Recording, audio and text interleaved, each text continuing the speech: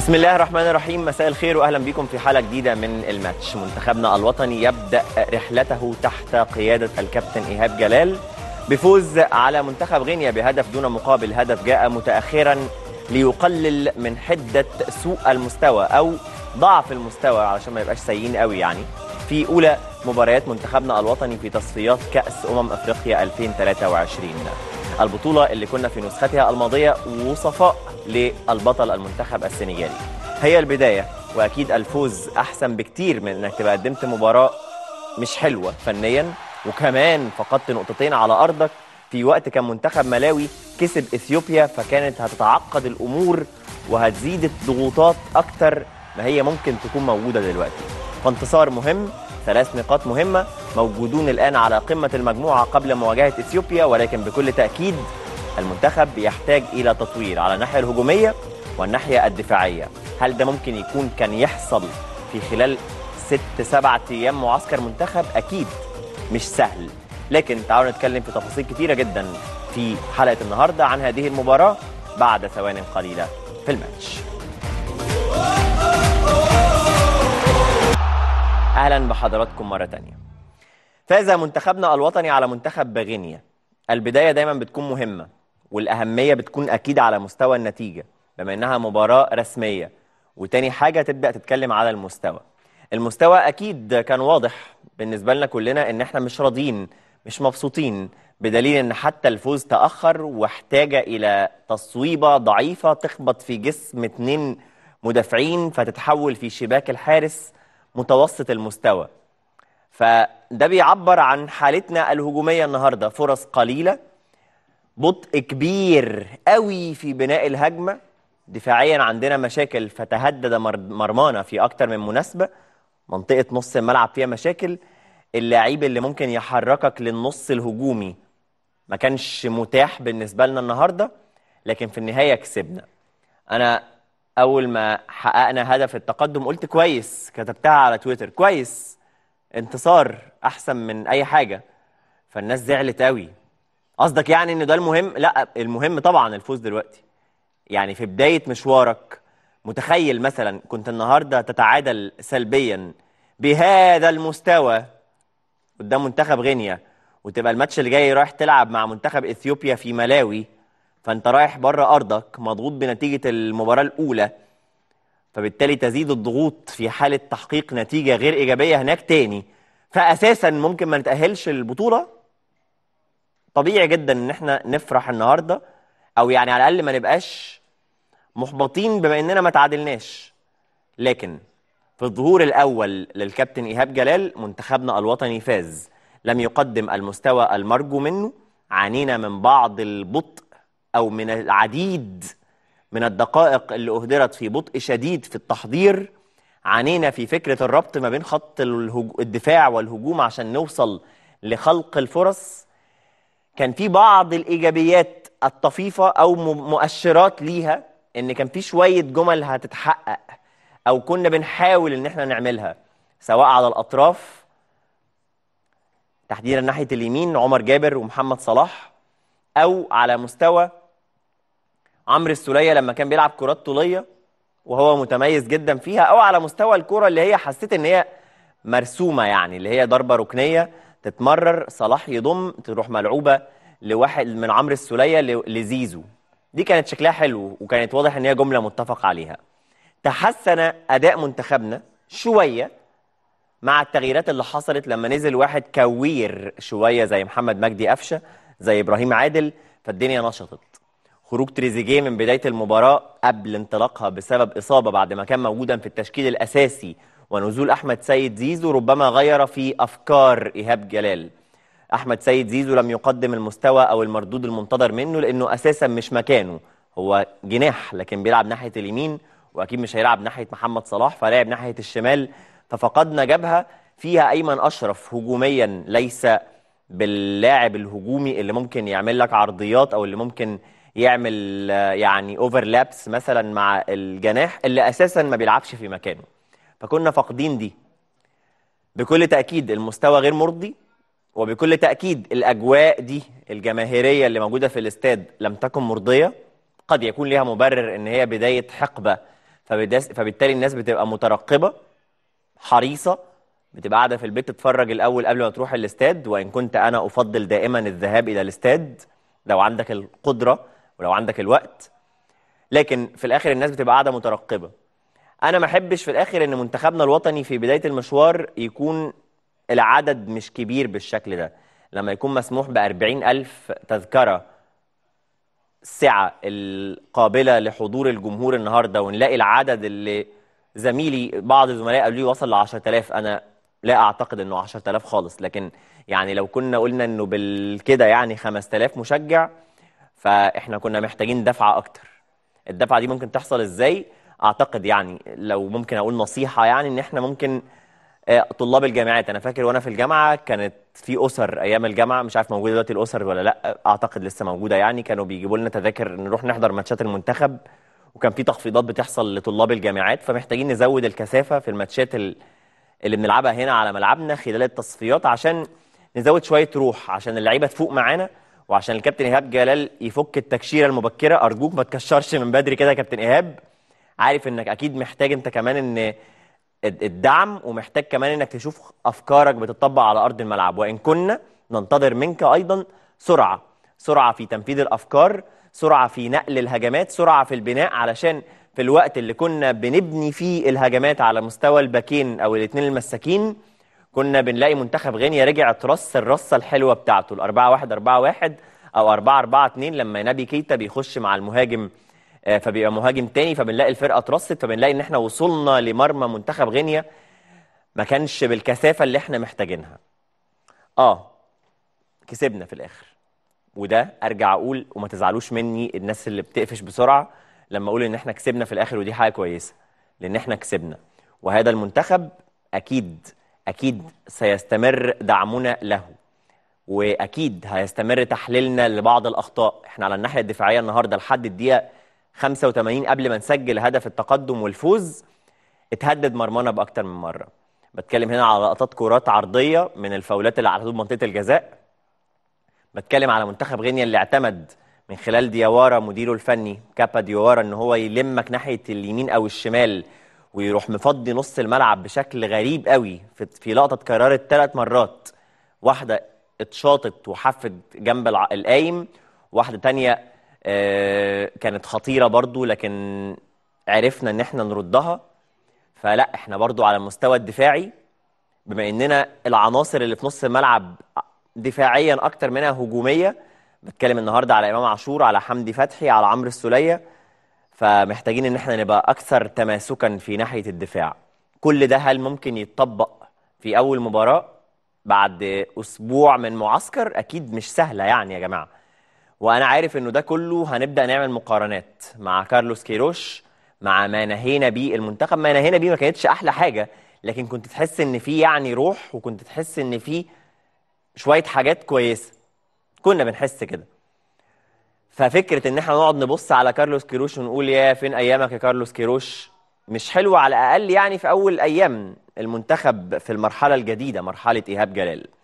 فإحنا محتاجين الأيام اللي جاية نبقى في أفكار أكتر في تدريس أكتر لكيفية الانتقال بالهجمة بشكل أسرع. النهارده في آخر المباراة شفت كام هجمة كده اتعملوا بتمريرات سريعة بنتنقل بيها بنروح. اللمسة الأخيرة اللي بتوصل المهاجم كان عادة فيها مشكلة. عادة فيها مشكلة سواء من الباكين أو من لعيبة خط الوسط. محمد صلاح أكيد الناس هتتكلم أكيد على مستوى محمد صلاح مع المنتخب لكن هو ربما كان زيه زي أغلب لاعبي المنتخب ما قدموش المستوى الرائع لكن كانت في محاولات سواء في وجوده بجوار مصطفى محمد وعمر مرموش أو في وجوده ومصطفى محمد وابراهيم عادل أو حتى في البداية لما كان أحمد سيد زيزو ومرموش في النص ومحمد صلاح الذي لم يتغير مكانه واللي لم آه، يسدد إلا تصويبه على مستوى الفاولات وعمر مرموش شاط واحدة وكانت الحقيقة خطيرة إنما ما كانتش في زاوية قوي فلم تغالط حارس المرمى. فزنا في النهاية. تحققنا تحقق الانتصار الأول ثلاث نقاط بنتصدر بها المجموعة الرابعة في تصفيات أمم إفريقيا 2023 المقامة في كوت ديفوار في السنة المقبلة وده بعد مباراة شهدت انتصارا لملاوي على إثيوبيا بنتيجه 2-1 والأهداف الثلاثة كانت من ضربات جزاء. مبروك لمنتخبنا مبروك للكابتن إيهاب جلال. المستوى تحسن في الآخر والهدف جاء في النهاية وتحقق الانتصار. تعالوا نستعرض تشكيل منتخبنا الوطني النهارده الأساسي في أول مواجهة للكابتن إيهاب جلال. وهستنى بالمناسبة تعليقاتكم على السؤال الحلقة النهارده ما رأيك في أول أو في مستوى منتخبنا الوطني في أول مواجهة تحت قيادة الكابتن إيهاب جلال؟ السؤال ده هنقرأ تعليقاتكم عليه سواء على صفحاتنا على الفيسبوك أو حتى على صفحتي نفس السؤال هستنى تعليقاتكم عليه. تشكيلنا كان كالتالي محمد أبو جبل حرس مرمى المنتخب في غياب الشناوي للإصابة بكورونا. محمود الونش وياسر إبراهيم كقلبي دفاع مع المنتخب. عمر جابر وأيمن أشرف على الطرفين. خط الوسط حمدي فتحي في النص عمرو السولية على يمينه أو إمام عاشور على يمينه عمرو السولية على يساره. إمام عاشور هو اللي بدأ النهارده مش تريزيجيه زي ما توقعنا بالأمس. إحنا توقعنا تريزيجيه يعني أقصد في المقدمة محمد صلاح وكان المفروض تريزيجيه لكن تعرض لإصابة في بداية المباراة واضح إن هي فيها شد. وعمر مرموش هو اللي بدأ اساسيا آه ناحية المهاجم في مركز المهاجم الصريح. أو المهاجم اللي هو إيه آه هو مهاجم صريح أكتر منه وهمي حتى. قبل ما تحصل التغييرات اللي كانت متأخرة نوعا ما وكان أول تغيير مصطفى محمد لما نزل مكان زيزو فاتنقل عمر مرموش ناحية الشمال ومصطفى محمد يعني برضو بإمكانياته البدنية بيخلق شوية تحركات في نص الملعب بتكون إيجابية وهو بنفسه اللي سجل وده هدف أول لمصطفى محمد بعد فترة غياب سواء في تصفيات كأس العالم المرحلة الأخيرة أو في بطولة أمم إفريقيا اللي كنا فيها بيغلب علينا الطابع الدفاعي بكل تأكيد. طبعا تدريجيا خرج إمام عاشور ونزل القفشة خرج كمان مين عمر مرموش ونزل إبراهيم عادل وكانت محاولات كلها لزيادة الجانب الهجومي وفلحت في النهاية بهدف من تصويبة اصطدمت بدفاع المنتخب الغيني. طيب قبل ما ندخل في تفاصيل أكتر عايز بس أقول لكم ان وإحنا خارجين من ملعب المباراة محمد صلاح كان خارج بيزك. ودي غير مطمئنة شوية يعني إنه يا رب تكون بسيطة لكن إحنا كاميرا الماتش رصدت من خلال المدرجات محمد صلاح وهو خارج من الملعب وهو بيزك زكة كده خفيفة بس كانت واضحة بالنسبة لنا. فإن شاء الله تكون بسيطة وهنطمن على محمد صلاح خلال الدقائق المقبلة من الجهاز الطبي لمنتخبنا الوطني. تعالوا نروح للكابتن طارق السعيد نجم الكرة المصرية السابق. كابتن طارق أهلا بيك منورنا حبيبي يا هوني أخبارك؟ أخبارك إيه؟ الحمد لله تمام حبيبي الحمد لله. مبروك الفوز لمنتخبنا الوطني. وإن كان أكيد في تعليق على مستوى المنتخب في البداية لكن أحب أسمع منك بشكل كامل. يعني بداية طبعا لازم نبارك لمنتخبنا وجماهيرنا وبلدنا على أول فوز إن شاء الله في طريقنا لتصفيات كاس الأمم الأفريقية. نبارك للجهاز الفني أول مباراة مع هذا الفريق. يعني مش عايز أقول الفريق الجديد لأن إحنا ما شفناش لسه عناصر جديدة يعني أو طرق لعب جديدة لسه ما نقدرش نحكم عليها. كابتن إيهاب جلال كان يهمه جدا الفوز لرفع المعنويات لاتخاذ الثقة. وأعتقد ربنا اداله كمان في توقيت مهم جدا. وما بنلعبش قدام فريق صغير فريق غينيا من الفرق المحترمة المنظمة اللي هو برضه عندها بعض اللعيبة تلعب على مستوى عالي في دوريات عالية. فأعتقد مكسب النهارده هيدينا دوافع كتير جدا في الفترة اللي جاية. هيدي ثقة للجهاز الفني هيدي ثقة للاعبين للرجوع تاني للانتصارات.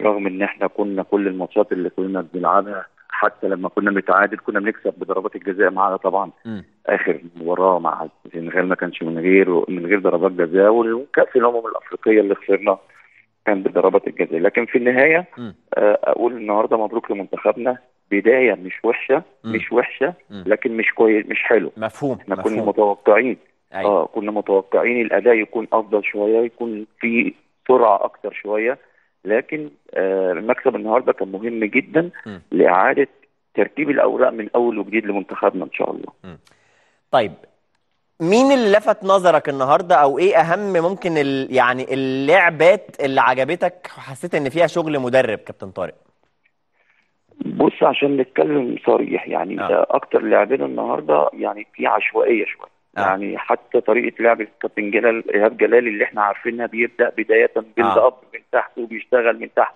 ما اتعملتش النهارده كتير لأن الفريق كان ضاغط عليك آه آه، بشكل كويس غير كده برضو لسه اللعيبة ما خدتش على طريقة اللعب لأن أكتر اللعيبة خصوصا اللي بتلعب في الدفاع عمرهم ما اتمرنوا مع الكابتن اسلام جلال صح. ودي نقطة مهمة جدا الأربعة هو عمر جابر بس الوحيد اللي اتمرن معاه فمش م. عارفين لسه طريقة اللعب بتاعته م. فاللي كانت بتميزه دايما عن كل الفرق اللي هو كان ماسكها وعن كل الفرق الدوري الممتاز اللي إحنا كنا بنشوفها إن هو بيحب يلعب من تحت بيكون فيه لمسات. لكن ال ال الأمور الفردية هي اللي كانت فيها العامل المؤثر يعني كرة ممكن صلاح يروح بيها. آه ضربة ثابتة آه الحاجة الوحيدة التكتيكية اللي شفتها الكورنر يعني عملناها أكتر من ثلاث مرات أيوه بيلعب الكره لبره وواحد يدخل ال 18 صح. علشان ياخد ال 1 3 مم. هي ديت اللي يمكن أكتر جملة تكتيكية كانت واضحة قدام الناس كلها. لكن. جمل تكتيكية من خلال اللعب ال- أو جملة تكتيكية متحركة أيوه أنا شايف يعني كان أكتر اللعب عشوائي مش أكتر مم.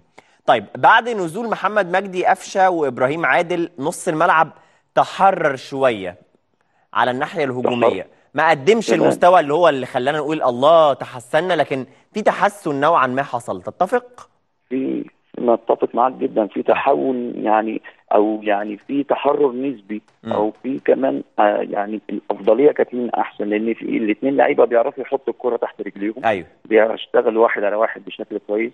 كذا كوره كان قفشه عاوز يعملها البينيات أو ال- الحاجات اللي بتلعب في العمق أيوة. دايما لكن برضه لازم لازم نشوف فريق الغيني الفريق المحترم الفريق المنظم. اللعيبة قريبين من بعض. خطوطهم قريبة من بعض فانت ما بتلعبش منتخب صغير كنا نتكلم النهارده مع احترامي وتقديري لكل المنتخبات الثانية في مجموعتنا لكن دوت أعتقد ده أقوى فريق آه، في مجموعتنا فأعتقد المكسب آه، هيغطي على حاجات كتير جدا. لكن لازم طبعا الكابتن إيهاب وج- وجهازه الفني هيقعدوا يحللوا ويشوفوا إيه نقط القوة اللي إحنا. اشتغلنا عليها ونقط. الضعف اللي إحنا عندنا والنقط السلبية اللي اللي كانت ممكن تخسرنا مباراه زي النهارده لأن في برضه جملة تكتيكية اتعملت في الفريق الغيني كان ممكن ممكن ناخد فيها هدف الكرة اللي أيوة. اتعملت ال- ال- على ال 18 والراجل. حطها ببطن رجله وراحت بد- بدون. أي رقابة أو بدون أي مضايقة من أي مدافع في رغم مصر إن إحنا بنلعب بثلاثه في نص الملعب. بنلعب بثلاثه في نص الملعب فلازم واحد يكون دايما واقف على ال 18 علشان الكرة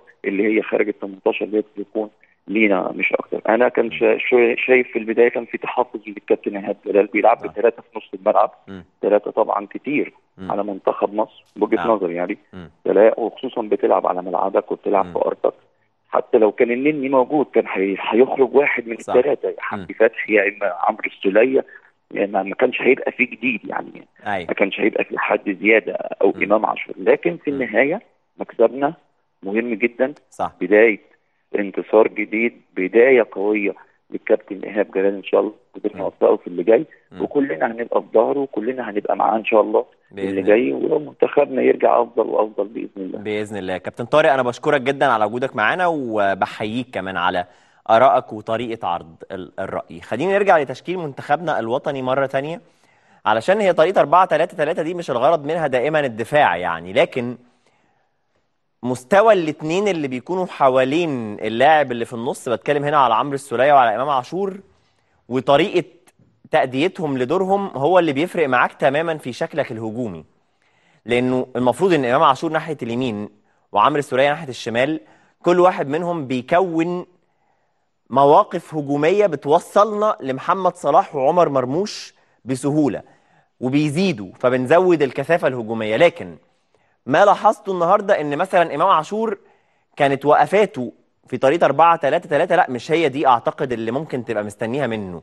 إنه دايما بيكون يعني في واحد مغطي بينه وبين واحد غيني مغطي بينه وما بين اللاعب اللي معاه الكورة من منتخبنا. لأ أنت لازم في لقطات زي دي تكون بتظهر أكتر. وحمدي فتحي هنا بيكون ليه دور هو كمان إن هو يكون حلقة الربط ما بين مثلا عمر جابر وهي الكورة معاه وإمام عاشور اللي بيحرك بعد كده محمد صلاح ونفس القصة بالنسبة لعمرو السولية مع حمدي فتحي وأيمن أشرف وزيزو. دي افتقدناها وبالتالي ده كان سبب إن شكلنا الهجومي من خلال لعيبة خط الوسط وحش. يعني مش حلو في الشوط الأول. فبالتالي نزول واحد زي قفشة يغير الشكل لأنه كورة مختلفة. وجوده في العمق بيختلف شوية لأنه بيزود لك الكثافة الهجومية. فأنا شايف إنه الثلاثه دول إمام عاشور حمدي فتحي عمرو السولية كتوليفة يعني مش هي الأمثل على مستوى أداء النهارده.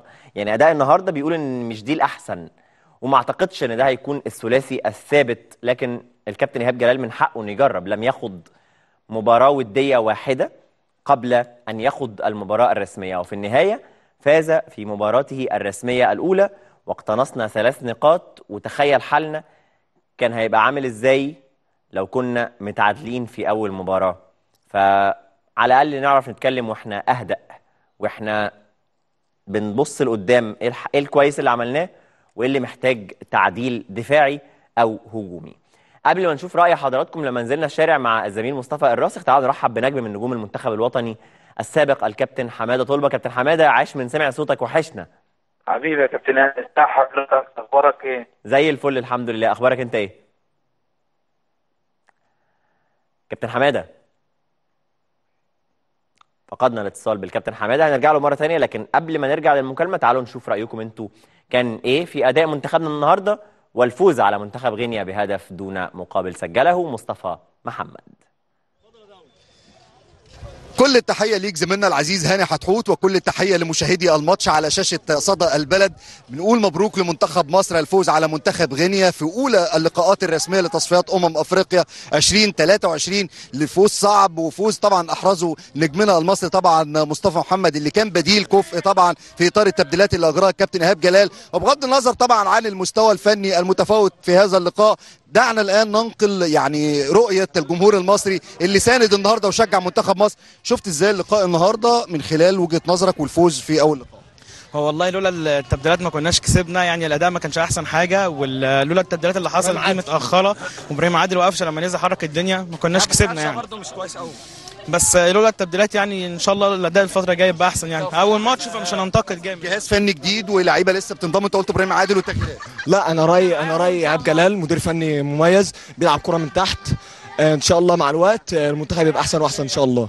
النهارده أبرز النقاط اللي شفتها في الماتش كانت إيه؟ آه، والله الحمد لله. قفشة لما نزل غير الملعب وبسم الله ما شاء الله يعني حاجة محترمة. هي التبديلات هي اللي غيرت الماتش. كلمة سر في الماتش النهارده. أقول حاجة بس. قول لي النهارده شفت اللقاء إزاي؟ بص للكاميرا كده. والله هو الأداء ما كانش أحسن حاجة بس إحنا بننتظر بنستنظر من الكابتن إيهاب جلال بالأداء آه، يتحسن بعد كده.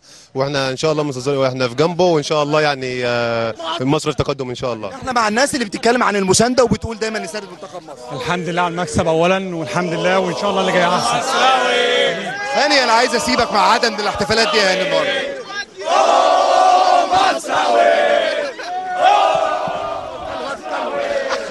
ناس عاقلة قوي ناس عاقلة قوي مش مبسوطة بالأداء قوي بل وحللت إن مستوانا تحسن مع التغييرات وفي نفس الوقت عارفين إن هي أول مباراة وبيحتفلوا بالفوز. فيعني حللوا كل حاجة بهدوء شديد. يعني آه، بحييكم والله مبروك الفوز لينا كلنا. لكن أكيد بننتظر تحسنا وبننتظر شكل وجملا جيدة لمنتخبنا الوطني في اللقاءات المقبلة. وإحنا وراكم طول الوقت. وأنا. عندي رسالة للعيبة بس مش للمدرب بقى أو للجهاز الفني اللي أكيد هيشتغل على ده. لكن شوية اظهروا شوية من ال... اللي هو إحنا سريعين إحنا عايزين نعمل كورة إحنا عايزين في محاولات تنفيذ أفكار لكن إحنا عايزين شوية سرعة. البطء الشديد ده عانينا منه. الشوط الأول كنا أنا افتكرت صورة كابتن حازم إمام ومحمد بركات وهم بيحضروا مران المنتخب اللي هي الاثنين عاملين كده. إحنا كلنا كلنا عاملين كده النهارده في الشوط الأول. و- وشوية كتيرة من الشوط الثاني ففوقونا شوية خلونا نحس إن إحنا يعني ده كله هيرجع الجمهور وده كله هيخلي الحماس والشغف موجود في تشجيعكم. أنتوا فدي ده دور عليكم أنتوا كمان كلاعبين منتخب فانسوا أي انكسارات سابقة وركزوا مع المستقبل وابتسموا شوية يعني. خليكم كده فايقين شوية وانتوا بتلعبوا كورة. تعالوا نرجع للكابتن حمادة طلبة مرة تانية. كابتن حمادة أهلا بيك. أهلا بيك يا كابتن ازي حضرتك؟ زي الفل. وحشة والله. وأنت كمان والله وحشني ومبسوط إن أنا بسمع صوتك. وأقول لك مبروك فوز المنتخب النهارده. ربنا يخليك يا كابتن هاني وبقول الحمد لله طبعا على المكسب النهارده. آه، هو طبعا مكسب مش الناس كلها بس بتزيد موفقة إن شاء الله للكابتن للكابتن ايهاب. آه، طبعا عاوزين نعذره طبعا الراجل زي ما أنت اتكلمت لسه بتتكلم من شوية اللي متابعك. آه، بتتكلم إن الراجل لسه برضه ما عملش مباراة وديه آه، مسك المنتخب فترة قليلة طبعا. آه، بدا بدأ يعمل توليفة على قد المباراة بس يعني نحمد ربنا طبعا على المكسب النهارده. آه، بس أنا ليا تعقيب بس إن أنت النهارده تلعب 4 3 3 ما ينفعش تلعب من غير سترايكر في آه، المنتخب. دي صعبة جدا. النهارده الثلاثة اللي انت بتتكلم عليهم في نص الملعب لازم يبقى لهم دور هجومي. صح. لازم انت لو بتلاعب حمدي فتحي النهارده لازم الاثنين اللي قدامه زي زي امام وزي مثلا آه، كان السوليه لازم الاثنين يهاجموا ويرجعوا مع بعض. مم. لا أنا شايف النهارده المنتخب آه، على لعب مباراة نقول الحمد لله طبعا على المكسب بس مباراة مش راضية الناس كلها وراضيه الجمهور المصري. بس الدور الإعلامي اللي هو إن شاء الله يقف جنب المنتخب دي بداية وإن شاء الله بإذن الله الكابتن إيهاب هيقدر يحفظ اللعيبة طريقة لعبه. وأتمنى له طبعا التوفيق إن شاء الله في الجاية بإذن مين. الثلاثي اللي شايفه الأنسب لو هنفضل نلعب بطريقة ثلاثة في نص الملعب كابتن حمادة آه، من ضوء أنا- اللي موجودة يعني؟ بص كابتن أنا هقول لك حاجة. النهارده طبعا هو معذور النهارده برضه خط التيتي طبعا والتريزيجيه آه أنا كنت شايف النهارده اللي هو زي ما إيه هم هم الثلاثة اللي موجودين. يعني عندك حمدي وعندك السوليه وعندك إمام أيوه. الحتة الهجومية وعندها الحتة الدفاعية. هو حب يلاعب الاثنين بس آه، طبعا الطريقة ديت لازم تحفظ اللعيبة بشكل كويس. أيوه. ويبدأ يحفظ طريقة اللعب بتاعت الكابتن إيهاب. بس في الفترة اللي جاية إن شاء الله الكابتن إيهاب آه، دخل عناصر كتير. زي إبراهيم عادل زي أحمد عاطف. الناس دي إن شاء الله بإذن الله نشوف لها دور بإذن الله مع المنتخب. وأتمنى له التوفيق. إن شاء الله هو طبعا الكابتن إيهاب بيحب المدربين اللي بتحب تحضر من تحت. ما بيحضر كتير. صح. طبعا لسه أول مباراة ليه عاوز يحفظ اللعيبة. آه لا الكابتن ايهاب مدرب كبير وأتمنى من الإعلام إن شاء الله اللي هو يقف جنبه والجمهور المصري كله يقف جنبه. إحنا بنطالب بالمدرب المنتخب يكون مصري. المدرب آه مدرب كويس مدرب شاطر. أتمنى له طبعا التوفيق بإذن الله. بإذن الله. وأنا بشكرك جدا كابتن حمادة طلبة. نورتنا وشرفتنا كالعادة نجم المنتخب الوطني السابق ونادي الزمالك بكل تأكيد. أكيد هنشوف المؤتمر الصحفي آه، ماذا قال الكابتن إيهاب جلال وماذا قال كابا دياوارا المدير الفني لمنتخب غينيا. منتخب محترم جدا. منتخب كان عنده ثقة في نفسه وقت التحول للهجوم وإن كان ظهر ده يعني مع بعد منتصف الشوط الأول تقريبا لكن ثابت على رجليه وإحنا ساعدناه في ده من خلال بطء تحولاتنا وبطء آه، بنائنا للهجمات. طيب تعالوا نشوف الفيديو اللي قلت لكم عليه من شوية. محمد صلاح خرج وهو بيشعر ببعض الآلام. اللي حواليه الزحمة ده هيبان لنا دلوقتي وهو إيه؟ بيزك. كان ماشي بيزك أهو. هو هيجري دلوقتي بعد ما الدنيا بدأت تزدحم حواليه وخلاص داخل على النفق. فالزكة دي إن شاء الله هنطمن هنطمن من الكابتن إيهاب جلال. ممكن تكون برضو إجهاد يعني. ممكن يعني مش مش بتكلم على إن هي ممكن تكون إصابة لكن ده المشهد اللي كنا شايفينه. طيب ماذا قبل المباراة بالمناسبة محمد صلاح كان حصل على تكريم من جانب وزير الشباب والرياضة الدكتور أشرف صبحي ورئيس اتحاد الكرة المصري الأستاذ جمال علام. التكريم كان بسبب إنجازات محمد صلاح ونجاحاته الفردية والجماعية خلال الموسم المنقضي مع فريقه ليفربول توج خلالها ببطولتي الكأس في إنجلترا. إلى جانب طبعا الألقاب الفردية زي تتويجه بجائزة أفضل آه، لاعب في الدوري الإنجليزي من النقاد جائزة آه، هداف الدوري الإنجليزي للمرة الثالثة في تاريخه أفضل صانع آه، أهداف أو صانع يعني لاعب في المسابقة برضو. فكان حتى بيان الوزارة المشترك مع اتحاد الكرة إنه فخر آه، الكرة المصرية محمد صلاح وإنه دايما الرغبة في إنه يواصل نجاحاته اللي بنفتخر بيها ونجاحاته كمان مع المنتخب الوطني آه، بإذن الله. طيب تعالوا نشوف ماذا قال كابا دياوارا المدير الفني لمنتخب غينيا الفريق المحترم جدا قال إيه بقى؟ قال إن وجهة نظري إننا قدمنا مباراة جيدة وحاولنا الظهور بشكل جيد ونسدد على مرمى منتخب مصر ولكن لم ننجح في التسجيل مستوانا مقبول خسارتنا تحزننا حاولنا التسجيل ولكننا لم نتمكن من ذلك. كان هدفي الفوز بالمباراة. قدمنا أداء جيدا واستقبلنا هدفا بسبب إصابة الظهير الحاو- اللي هو اسمه كونتي بالمناسبة. قال حاولنا أن نهاجم المنتخب المصري ولم يحالفنا الحظ خلال اللقاء. مستوانا أمام الفراعنة يعتبر تقدما كبيرا بالنسبة لنا لأن هناك عددا كبيرا من الناشئين. الخطورة في المنتخب المصري كانت عن طريق محمد صلاح ولاعبو غينيا شعروا بالتوتر من محمد صلاح. يعني وجوده في الملعب وترهم وأعتقد دي بتبقى من النقاط المنطقية جدا ومن أهم مميزات وجود واحد زي محمد صلاح في فريقك يعني. قال إنه ليس من المفترض أن يركز المنتخب المصري على محمد صلاح فقط عندهم لاعبون مميزون آخرون قادرون على التسجيل. يا ريت نسمع النقطة دي. قال لا ألوم اللاعبين على الخسارة بالعكس أقدم لهم التهنئة لم يسجلوا ولكن قدموا أداء جيدا وحاولوا التسجيل. قال إن استقبال هدف في الدقائق الأخيرة غير عادل غير متوقع. لن ألوم لاعبي فريقي هذه كرة القدم وعلينا أن نتعلم من أجل التركيز في المباريات القادمة خلال التصفيات. ليه جبنا تصريحات آه، كابا دياورا الأول قبل إيهاب جلال لأن لسه تصريحات إيهاب جلال ما خرجتش يعني. يعني بيتكلم دلوقتي فهنلخصها لحضراتكم خلال دقائق. تعالوا آه، قبل ما نسيب المنتخب لأن معانا أخبار كتيرة. نقرأ شوية تعليقات من تعليقاتكم على صفحتنا على الفيسبوك صفحة صدى البلد. وهي كالتالي. المهندس راضي روزيق بيقول مستوى متدني جدا كخطة لعب. لعيبة لا تملك أي إمكانيات فنية ولا لياقة بدنية. لعب عقيم جدا سيء جدا وخسارة وخسارة الوقت اللي ضاع في متابعة المباراة. ده محمد عباس زيدان. ممدوح الشاهد بيقول مفيش بصمة. طارق الشافعي بيقول هو واللاعبين واحد من عشرة. بيتكلم على الكابتن إيهاب جلال مختار بيقول صفر من عشرة لا حول ولا قوة إلا بالله. إيه؟ يعني أمجد أكيد لو قدامي فرصة أوزن التعليقات كنت هوزنها بس أنا بقرأ بالترتيب وكلهم بيهاجموا.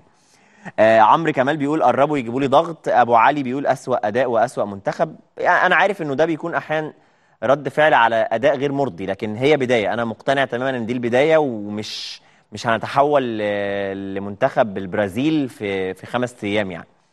فعلى الأقل إحنا كسبنا. والتحفظات تعالوا نقولها. يعني قولوا لنا إيه اللي ما عجبكش في المنتخب النهارده. جمال البخاتي بيقول كرة عادية مستوى مركز شباب. محمود بيقول مستوى إيه يا حاج؟ ما تصلي على النبي. في قلبك كده من الآخر كده مصر دي عمرنا ما هنشوف منتخب مرعب زي الأول إلا لما ينصلح حالنا والجمايل تتلغي. طارق مو القفاص بيقول نفس اللاعبين ونفس المستوى حتى لو جبت أحسن مدرب في العالم. أحمد فتحي بيقول يا إخوانا الموضوع مش مدرب هو اللاعب لما يبقى هو والجون ويضيع. مال المدرب بالموضوع اللاعبين بتوعنا محليين فقط. إحنا ضيعنا انفرادات النهارده؟ يعني كان في فرصة لعمر مرموش وعملها بالكعب جت في إيد المدافع وجت فاول على حدود منطقة الجزاء وصلاح صوبها آه، في آه، كانت افتقدت بس القوة. التوجيه كان جيدا لكن القوة افتقدناه. أبو شادي بيقول ستر ربنا الروماني بيقول مركز شباب شل شلمون أحسن منه. عاطف فؤاد بيقول أنا لا أرى أو لا أدري أنتم تتحدثون عن أي انتصار ونحن نلعب المباراة باستاد القاهرة وبنسجل هدف الفوز في الدقيقة 85 أبو يحيى الفقي لا جديد يذكر ولا قديم يعاد اللي جاي أحسن أخيرا يا امجد كريم بي... كريم الأسطورة. والله أنت أسطورة يا كريم. بيقول اللي جاي أحسن إن شاء الله. حلو. في شوية تفاؤل. آه، مستر تيلسون بيقول بعد ماتش منتخب مصر الشقيق أنا قررت أشجع منتخب إثيوبيا. آه، ما بيعجبنيش النوع ده من التعليقات خالص. خالص بالمناسبة وأنا آسف لك يعني. يا تيلسون. آه، حازم شرف بيقول مفيش جديد نفس طريقة اللعب مفيش تفاهم خالص لا جمل تكتيكية ولا شوط على المرمى ولا مهارات لعب بالراس ولا أي تمريرات عليه العوض. طيب آه، صبحي آه، جلدن بيقول كيروش كان على حق. إيهاب جلال جبر بخاطر المحبطين لكنهم لم يكونوا على مستوى المهمة عايشين بأداء غير جيد. أنا عدلت بس معلش يا صبحي آخر كلمة. الحاج محمد بيقول سمك لبن تمر هندي في منتخب مصر ربنا ستر وخلاص ده مجدي. منصور طب هنرجع للتعليقات مرة تانية. في بالمناسبة account على فيسبوك هو اسمه إيهاب جلال. ارحمنا ارحمنا account اللي اسمك. انت مش إيهاب جلال أكيد مش إيهاب جلال هيبقى قاعد دلوقتي يكتب لي تعليق وهو في المؤتمر الصحفي.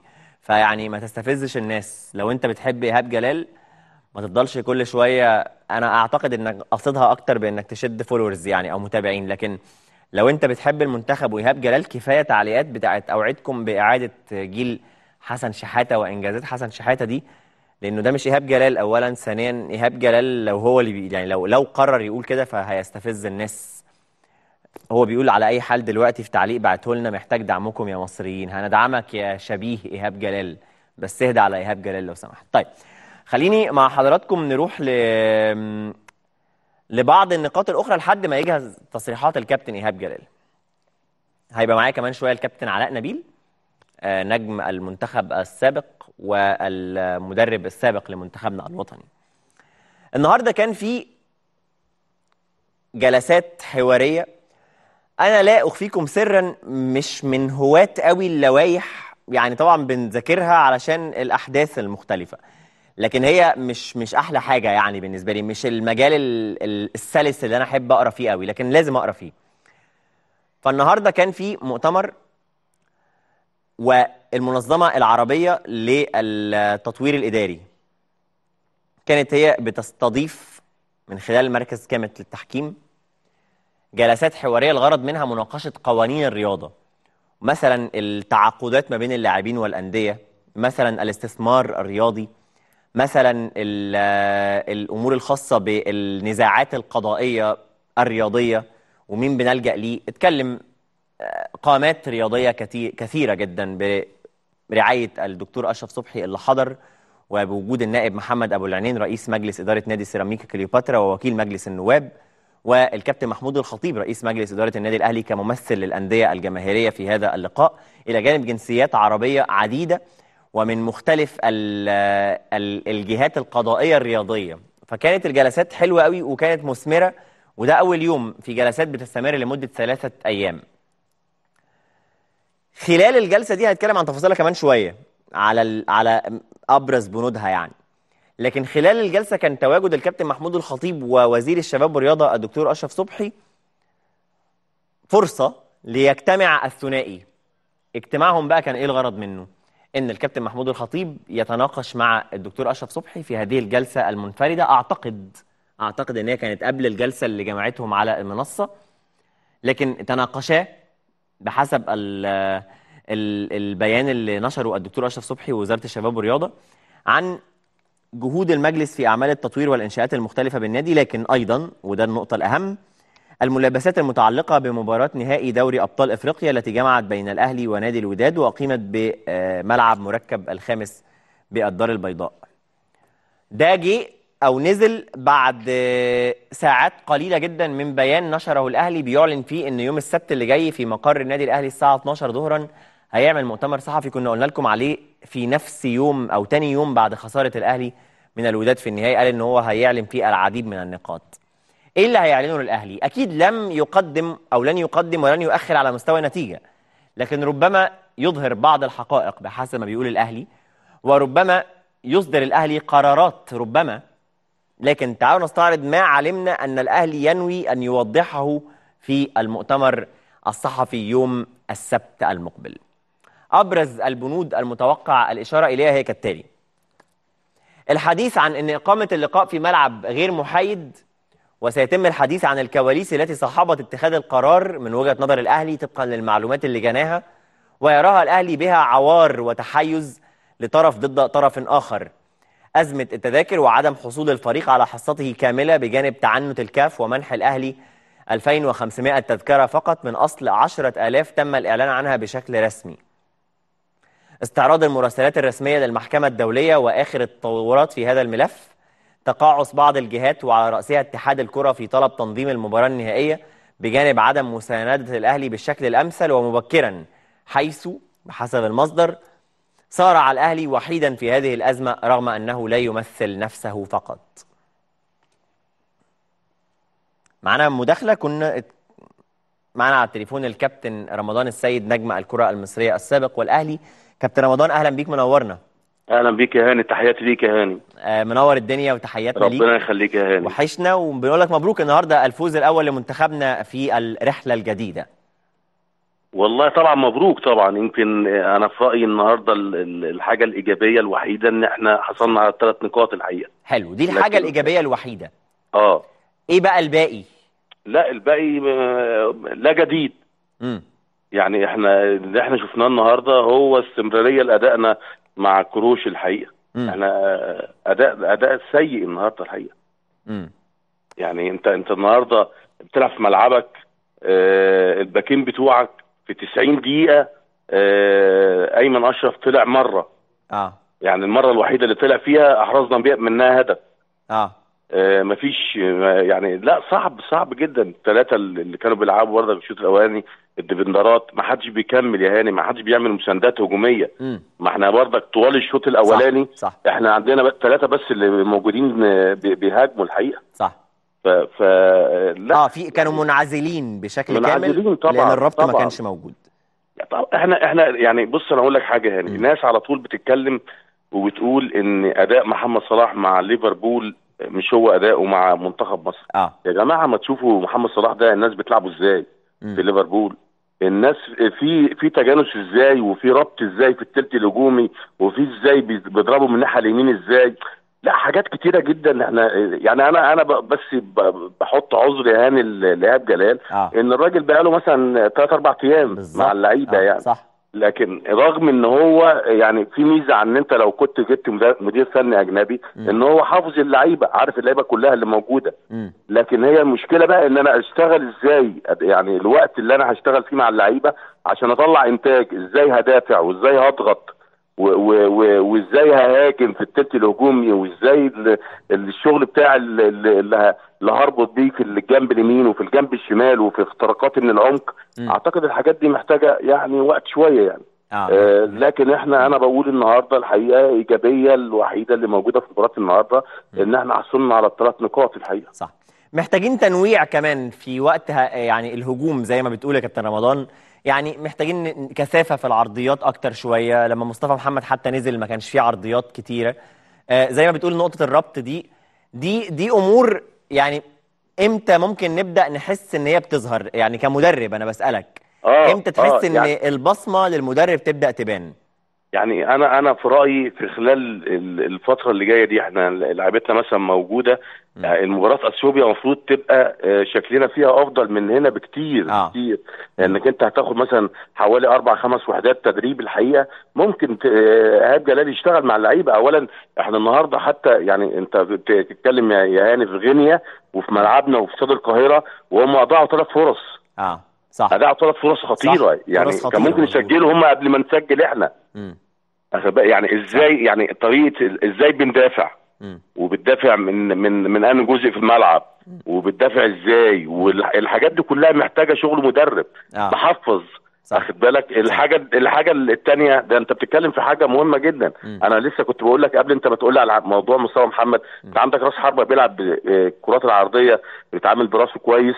ما فيش ولا واحدة اتلعبت آه يعني ما طب انت آه، منزل مصطفى محمد ما هو لازم ابقى عارف إمكانياته كمان انت ده موجود ليه.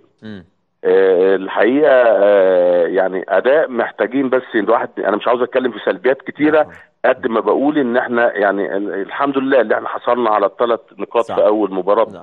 بنلعبها الحقيقة لكن في سلبيات كتيرة قوي. قوي وفي سلب استمرارية الحقيقة آه، في الأداء اللي هو آه، يعني آه، أنا للأسف الشديد أنا أنا بحس إن إحنا بنمتلك لعيبه كره آه، كويسة لكن آه، إحنا كل المدربين اللي جم في العشر سنين الأخيرة ما بيفكروش غير في النواحي الدفاعية آه يعني أنا أنا عارف إن عن إيهاب جلال إن هو الكرة بتاعته في آه، فيها النواحي الهجومية بتتعمل بشكل كويس. آه، ده اللي المفروض نشوفه بقى أيوة. لكن لو إحنا استمرينا بنفس الأداء بتاع ال ال الخمس مدربين الأخر الحقيقة في الفترة الأخيرة لا ده إحنا هيبقى الشكل هيبقى وحش قوي الحقيقة. مفهوم. كلام محترم جدا. بشكرك عليه كابتن رمضان السيد على تحليلك العاقل والمتزن جدا في تصريحاتك. بارك وأفضل ما في المباراة إن إحنا كسبنا لكن في ملاحظات سلبية كثيرة على الناحية الدفاعية والهجومية بكل تأكيد.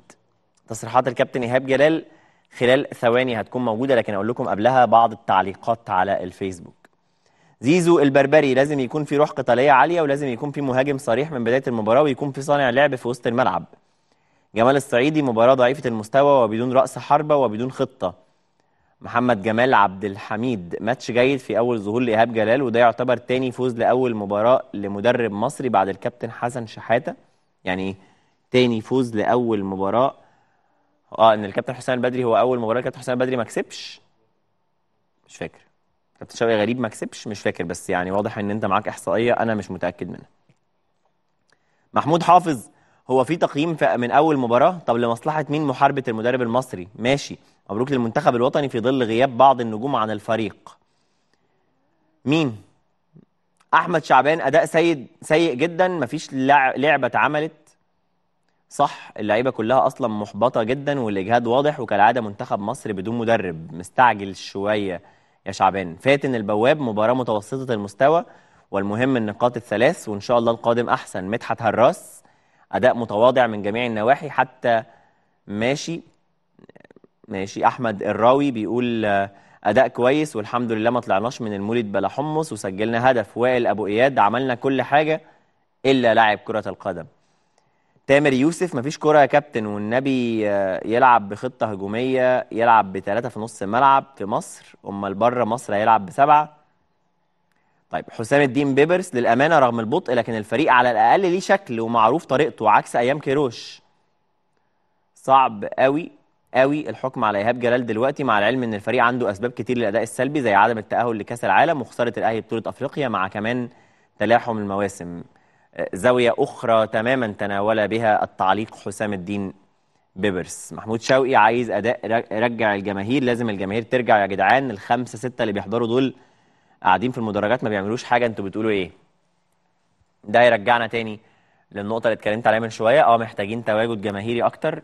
ده ممكن إحنا إحنا كمسؤولين يعني يبقى لينا دور أكتر في ده بتخفيض تذاكر بتنظيم بتخفيضها حتى لفئات معينة من الشباب طلاب الجامعات طلاب المدارس بإن إحنا كمان المنتخب نفسه يقدم مستويات تخلي المشجع رايح هو مبسوط أو متفائل إنه يشوف مستويات جيدة أهداف حلوة فيحس إن هو رايح يتفرج على مباراة يقول أنا رحت المباراة دي حضرتها فهي أعتقد محتاجة من الطرفين تداخل من الطرفين طرف من تسهيل إجراءات دخول الجماهير وطرف آخر من الجمهور نفسه أكيد والطرف بقى بتاع اللعيبة إن هم يقدموا لنا كورة كويسة عشان الناس تتبسط شوية. طيب تعالوا نشوف قال إيه الكابتن إيهاب جلال المدير الفني لمنتخبنا الوطني بعد أول مباراة في قيادة الفراعنة.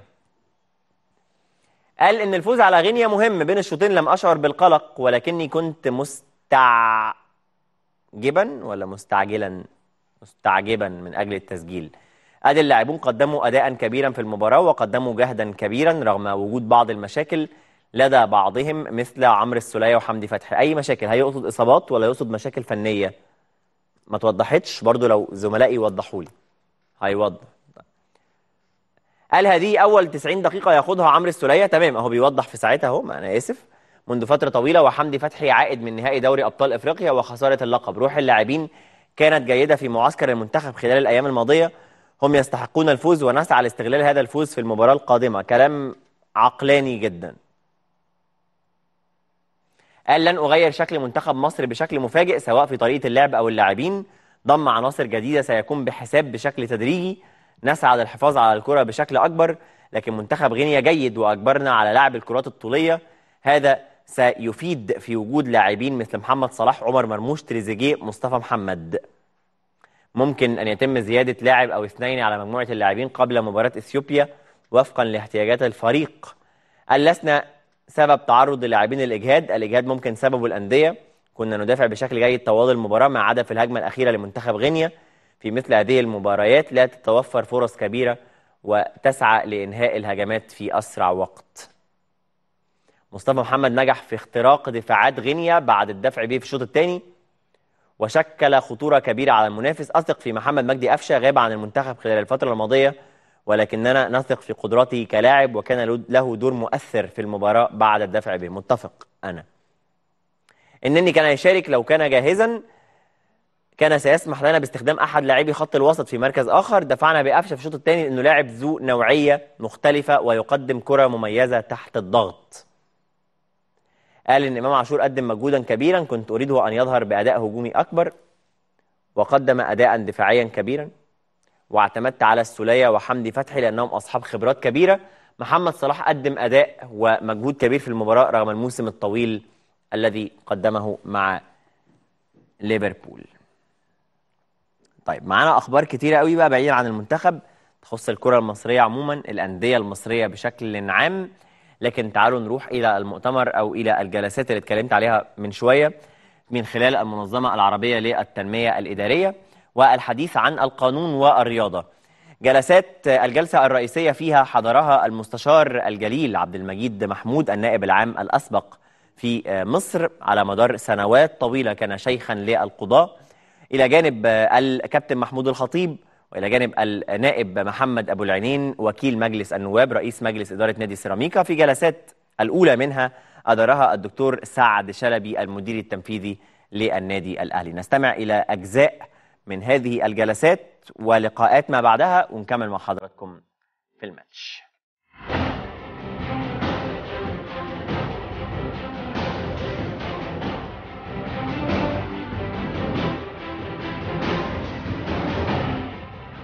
يهدف هذا المؤتمر إلى توضيح أهمية العقود في المجال الرياضي وعرض مستجدات لوائح الاتحادات الدولية المتعلقة بها خاصة عقود انتقال اللاعبين وعقود الوكالة والرعاية وكذلك عقود الاستثمار الرياضي وقواعد تسوية المنازعات أمام مراكز هيئات التحكيم الوطنية وأمام المحكمة الرياضية الدولية. أنا عاوز أدخل الرياضة جوه القرية وجوه النجع وجوه الريف. ليه؟ لأن الريف ده هو الحقيقة منبع الكفاءات الرياضية اللي ممكن نستفل خبراتها الموجودة. في عيال موهوبة لكن دول جوه القرية. أنا أطلعهم من بره إزاي؟ واكتشفهم إزاي؟ يمكن خروجه من بره القرية عشان يروح مكان تاني. هو مش قادر عليه ومش قادر ينتسب لنادي يدفع له 200000 ولا 300000 جنيه. فأنا بقول إن إحنا فكينا الموضوع ده عشان يبقى شركات صغيرة.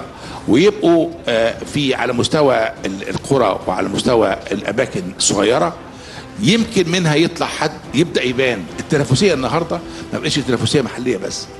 النهارده العالم كله اتفتح على بعضه والتنافسية تنافسيه عالمية وكل ما ترتقي في التنافسيات العالمية كل ما زادت تكلفة الوصول للمرتبة دي فمحتاجين اولا تمويل ومحتاجين تأهيل ومحتاجين تسويق ومحتاجين عمليات الإبداع اللي إحنا نبدع مرة واثنين وثلاثه في كل المجالات كلها ده محتاج إنه يتكرر وأنا بتفق برضو مرة أخرى إن اللي كسب يدفع والأنشطة الرياضية اللي لا تهدف للربح يجب أن تكون لها معاملة خاصة. حتى الجانب الرياضي ليه أبعاد.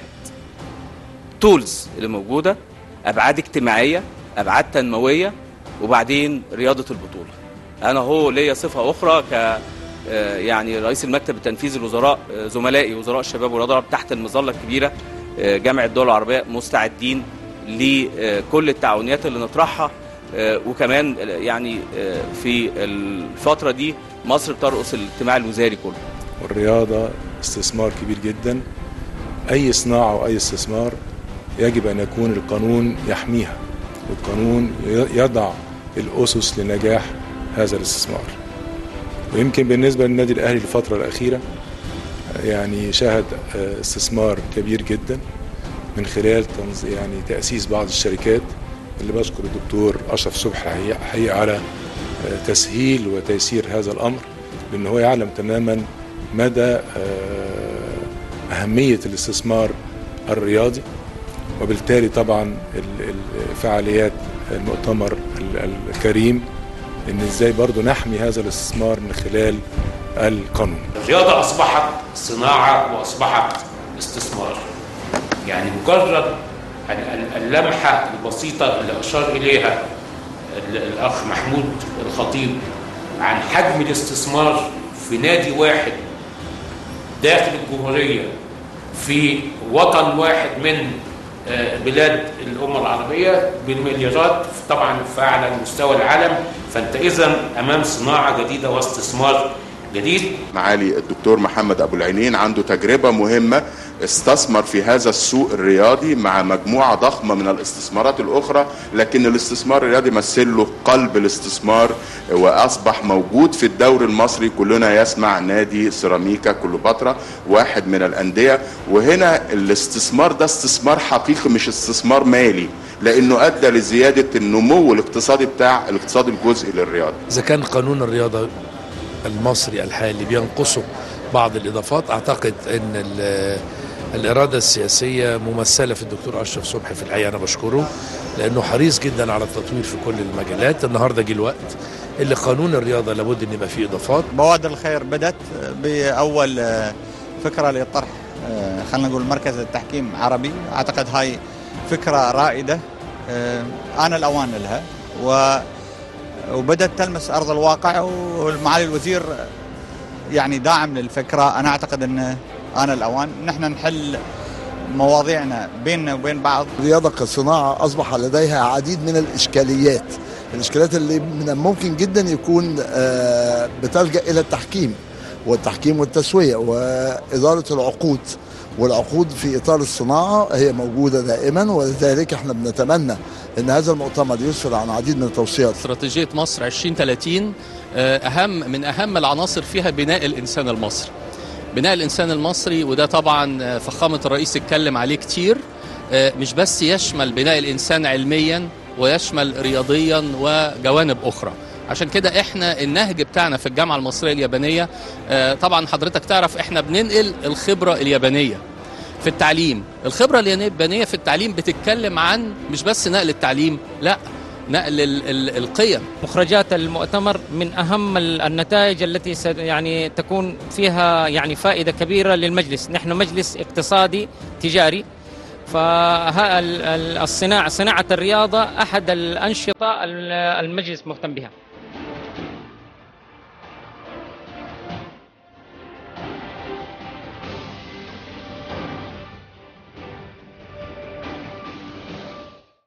جلسات كانت مثمرة قوي في يومها الأول ولسه مستمرة لمدة يومين وعجبني كمان الاختلاف في الرأي اللي كان موجود ما بين آه، من بيحاضر وما بين من بيتلقى هذه المحاضرات لأنه كان بل بالعكس ما بين كمان ال- الموجودين على المنصة نفسهم إن مثلا كابتن محمود الخطيب يطالب بإعفاءات ضريبية للأندية غير الربحية علشان يبقى ده بيساعد أكتر في الاستثمارات فيرد عليه المستشار عبد المجيد محمود بعدها بشوية بأنه لأ دي شركات كرة فبتحقق ارباحا فلا طبعا المفروض إن هي تدفع وتساهم في زيادة الدخل وزيادة ال- الناتج يعني المادي للبلد.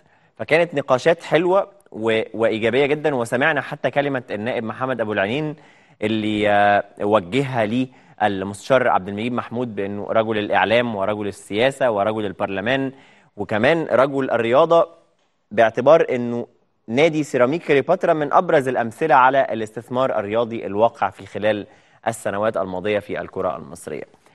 في جزء آخر من تصريحات الكابتن إيهاب جلال تعالوا نستعرضه مع بعض.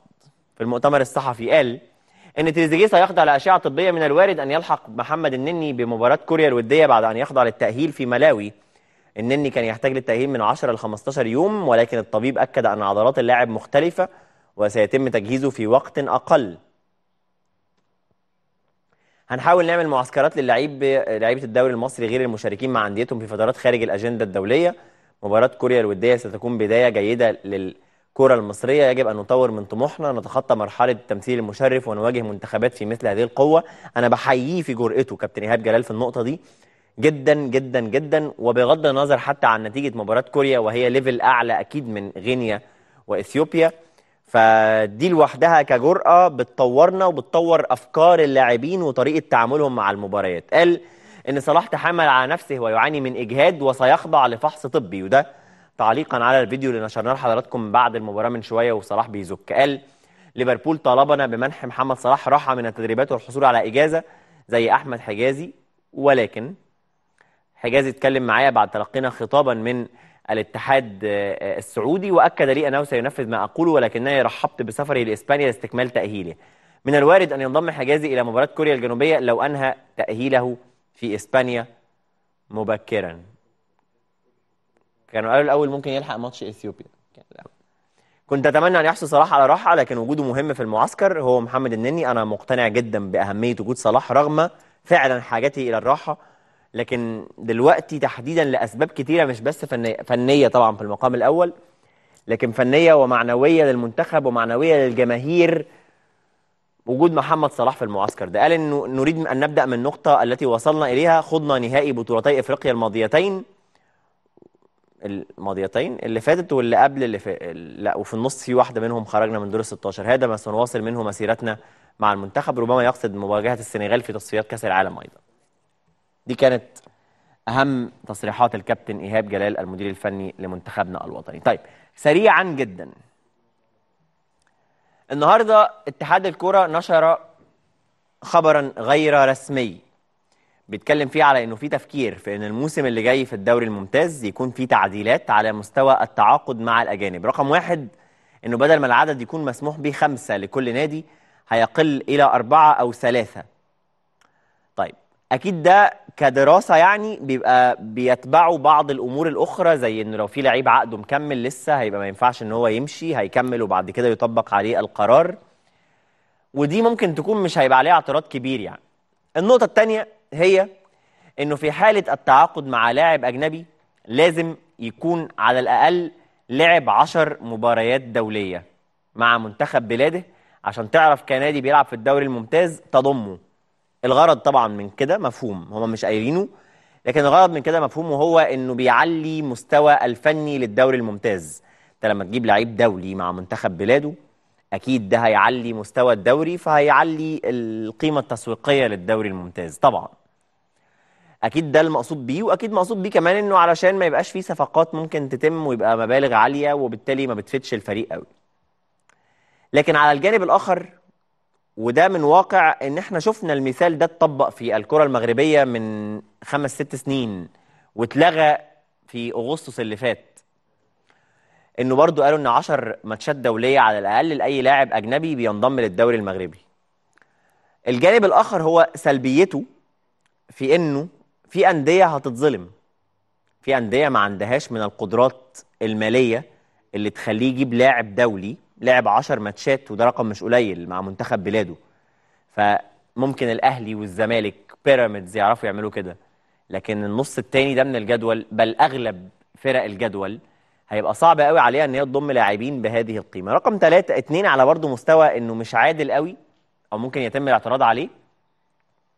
هو إن أنت برضه بتحرم الأندية من السكاوتنج من الرؤية. إن أنا واحد عندي رؤية لمواهب في أفريقيا فبروح أدور فبيجي لي لاعبين فبدرس شكلهم ومدى إفادتهم ليا فبتقلل برضو القاعدة لأنه أفريقيا مليئة بالمواهب. على فكرة هو الخبر منتشر كنوع من العرض على الرأي العام قبل إقراره ودي حاجة أنا بحيي فيها اتحاد الكورة مش حاجة اسمها بالونه اختبار فأهاجمها هي بالونه اختبار. لكن حلوة إن هي تعرض ونسمع رأي الناس وآراء المدربين وآراء الأندية المختلفة.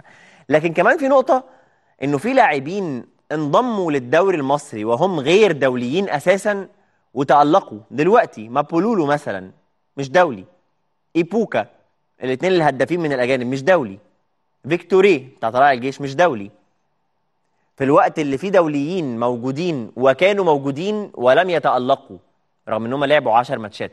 فهو مش المبرر الوحيد لتألق أو نجاح هؤلاء اللاعبين مع الدوري. وإن كانت في نظرة عامة أكيد هتعلي من مستوى الدوري اذا إذا نفذت. لكن لازم نسمع الآراء المختلفة وندرسها ونحاول حتى نعمل دمج للأفكار. بمعنى إيه؟ إن ممكن العشر ماتشات دي تبقى على دوريات مخت... معينة. يعني مثلا أنت مستحيل تلاقي لاعب نيجيري أو غاني بيلعب في منتخب نيجيريا وغانا و... أو السنغال ويلعب في الدوري المصري إنه أكيد بيلعب في أوروبا. ممكن تلاقي بقى لاعب على جانب آخر سنه صغير قوي وواعد وبيلعب في الدوري الغاني فتجيبه.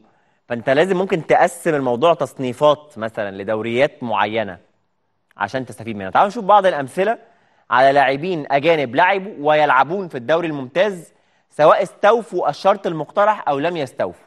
وانت قيم مستواهم كان عامل إزاي. مابولولو الأنجولي لاعب الاتحاد السكندري وقت انضمامه لمنتخب أو لفريق الاتحاد السكندري كان لاعب بس تسعة يعني لم يستفي هذا الشرط. هو حتى الآن شارك في 18 مباراة وسجل 10 منذ انضمامه في سبتمبر 21 رقم جيد جدا للاعب بينافس على لقب الهداف رغم إنه لو اتطبق عليه الفكرة مش هتشوفه موجود في الدوري الممتاز. ففاهم فاهم الموضوع إنه مش مدروس قوي محتاج دراسة. تاني لاعب إيبوكا النيجيري لم يشارك أساسا مع منتخب نيجيريا لكن مع إنبي 54 مباراة سجل 19 هدفا هو أحد هدافي الدوري هذا الموسم وصنع أربعة.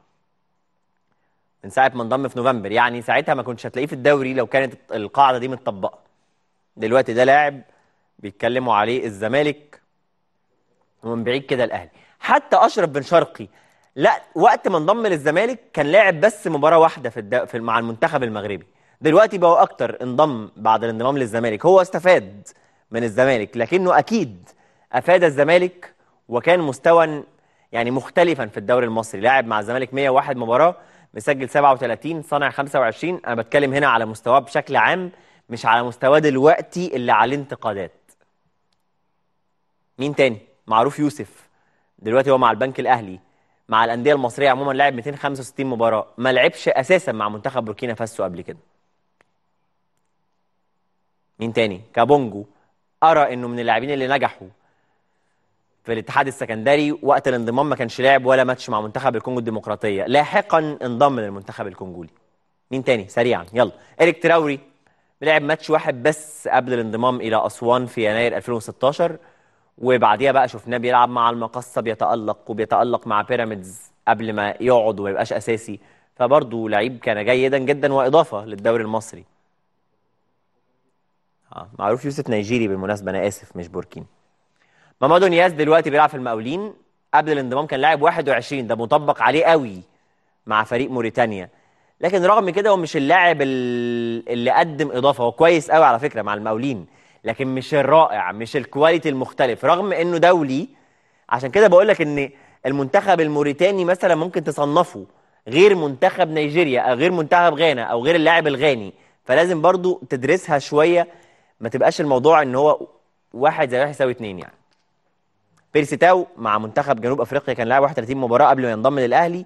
مع الأهلي حتى الآن سجل 8 وصنع 6 في 26 مباراة. خالد بوطيب مع منتخب المغرب كان لاعب 17 مباراة يعني كان مستوفي الشرط المقترح. كان جاي من فرنسا لكن مع الزمالك في 24 مباراة بس في طول الفترة دي لعب فترة قليلة قوي وسجل أهداف قليلة. الجنسية كان غاني أجوجو. وقت الانضمام كان لاعب 22 مباراة مع غانا وده آخر حاجة هنقولها موعد الانضمام كان في يوليو ورغم 16 مباراة بس لعبها مع الزمالك لعب أربع آه، سجل أربع أهداف وصنع واحدا. تعالوا نستعرض فيه أرقام تانية زي كينو مثلا. ما هو كينو ده برازيلي انطوي غاني. انطوي ده مسيرة حافلة مع الأندية المصرية مع الإسماعيلي مع طلائع الجيش مع المقصه الهداف التاريخي للأجانب المصري في مصر يعني. كينو لم يلعب مع المنتخب البرازيلي ولا مرة. ورغم كده quality من أحلى ال quality الأجنبي. من أحلى ال quality الأجنبي اللي دخل الكرة المصرية. فبالتالي الأمر يستحق دراسة واستعراض رأي الأندية المختلفة.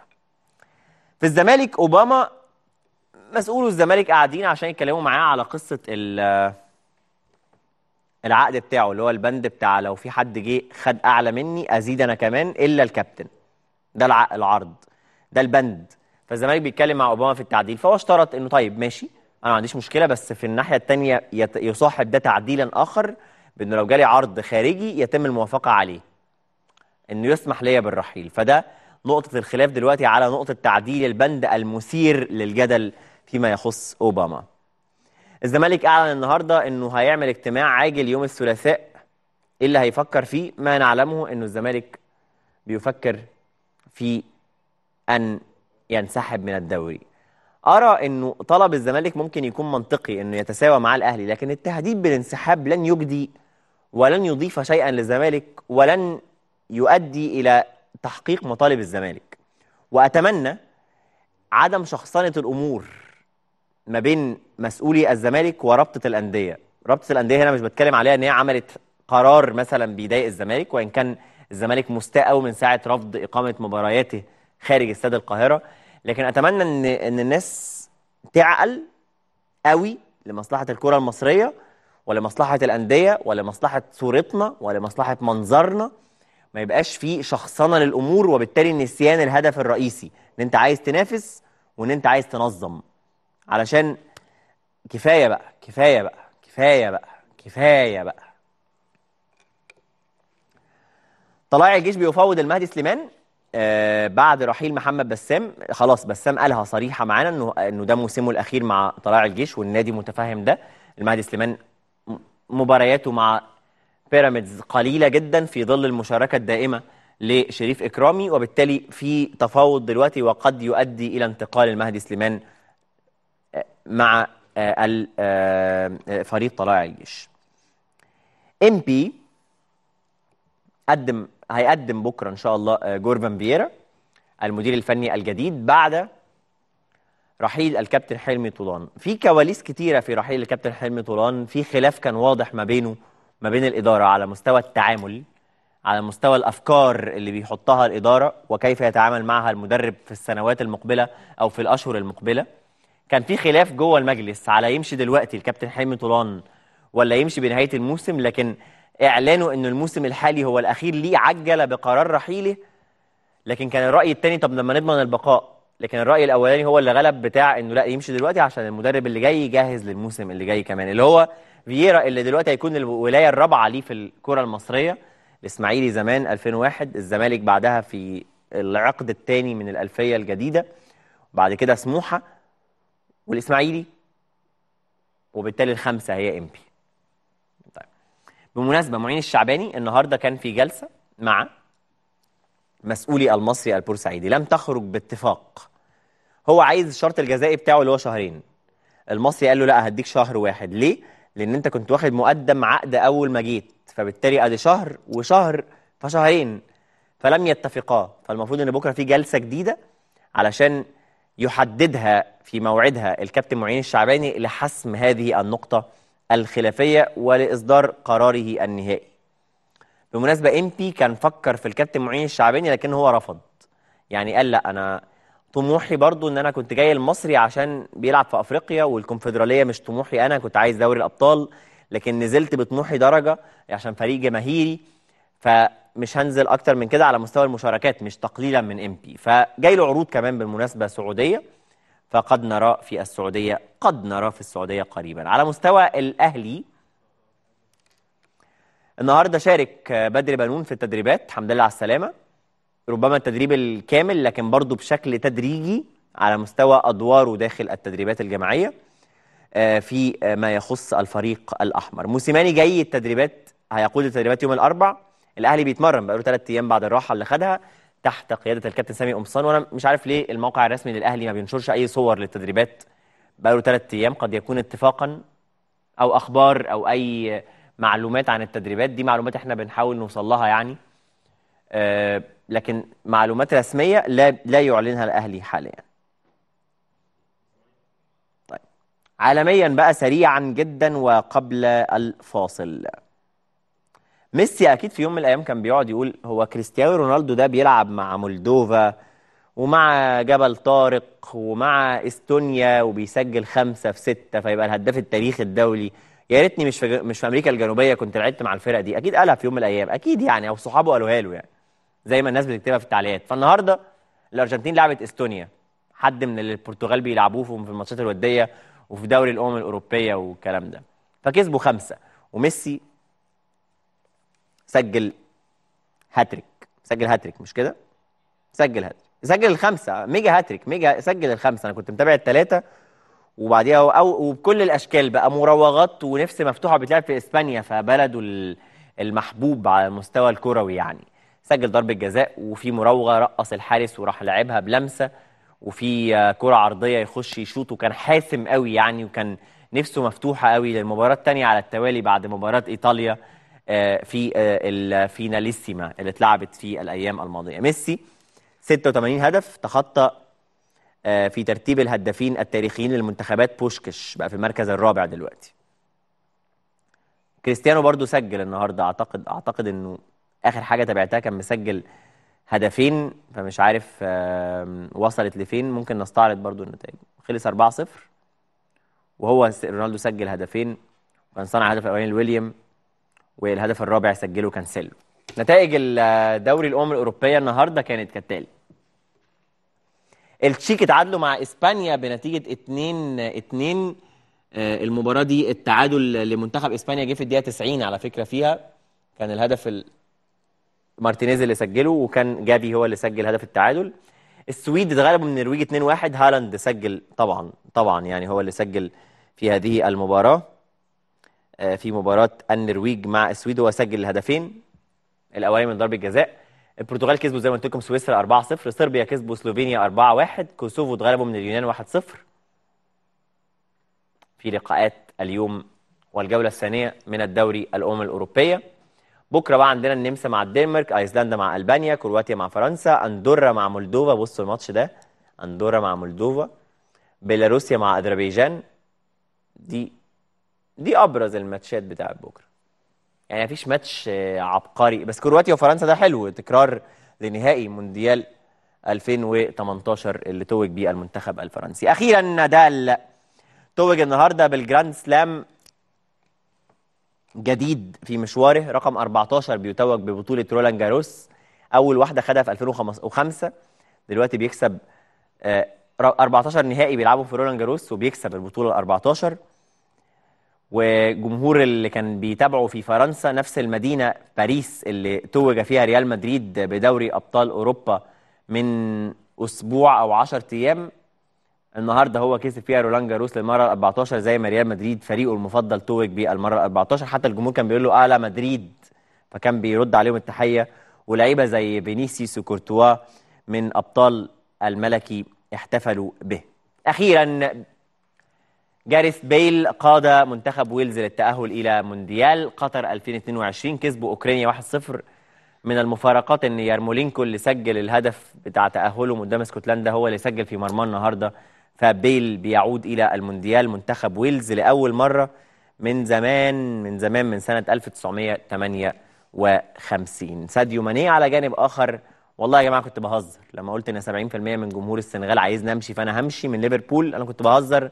خرجت من الماتش بعد الهاتريك لقيت العالم كله بيكلمني فأنا كنت بهزر يعني بقولها جوك لكن ده مش معناه إن أنا لا أحترم ليفربول بل أحترمه وأقدره. ويقال إن ليفربول رفض عرضا ب 20 مليون بس من بايرن ميونخ وهو العرض الأول. ده مش معناه إنه العرض الأخير لكن هي بتبدأ ب 20 25 ممكن توصل ل 40 ولا حاجة. بعد الفاصل الكابتن علاء نبيل نجم الكرة المصرية مدرب منتخبنا الأسبق هو ضيفنا في الماتش. خليكم معانا. بعد أول مواجهة للكابتن إيهاب جلال كمدير فني للمنتخب وفوز الفراعنة على غينيا بهدف دون مقابل في تصفيات أمم أفريقيا 2023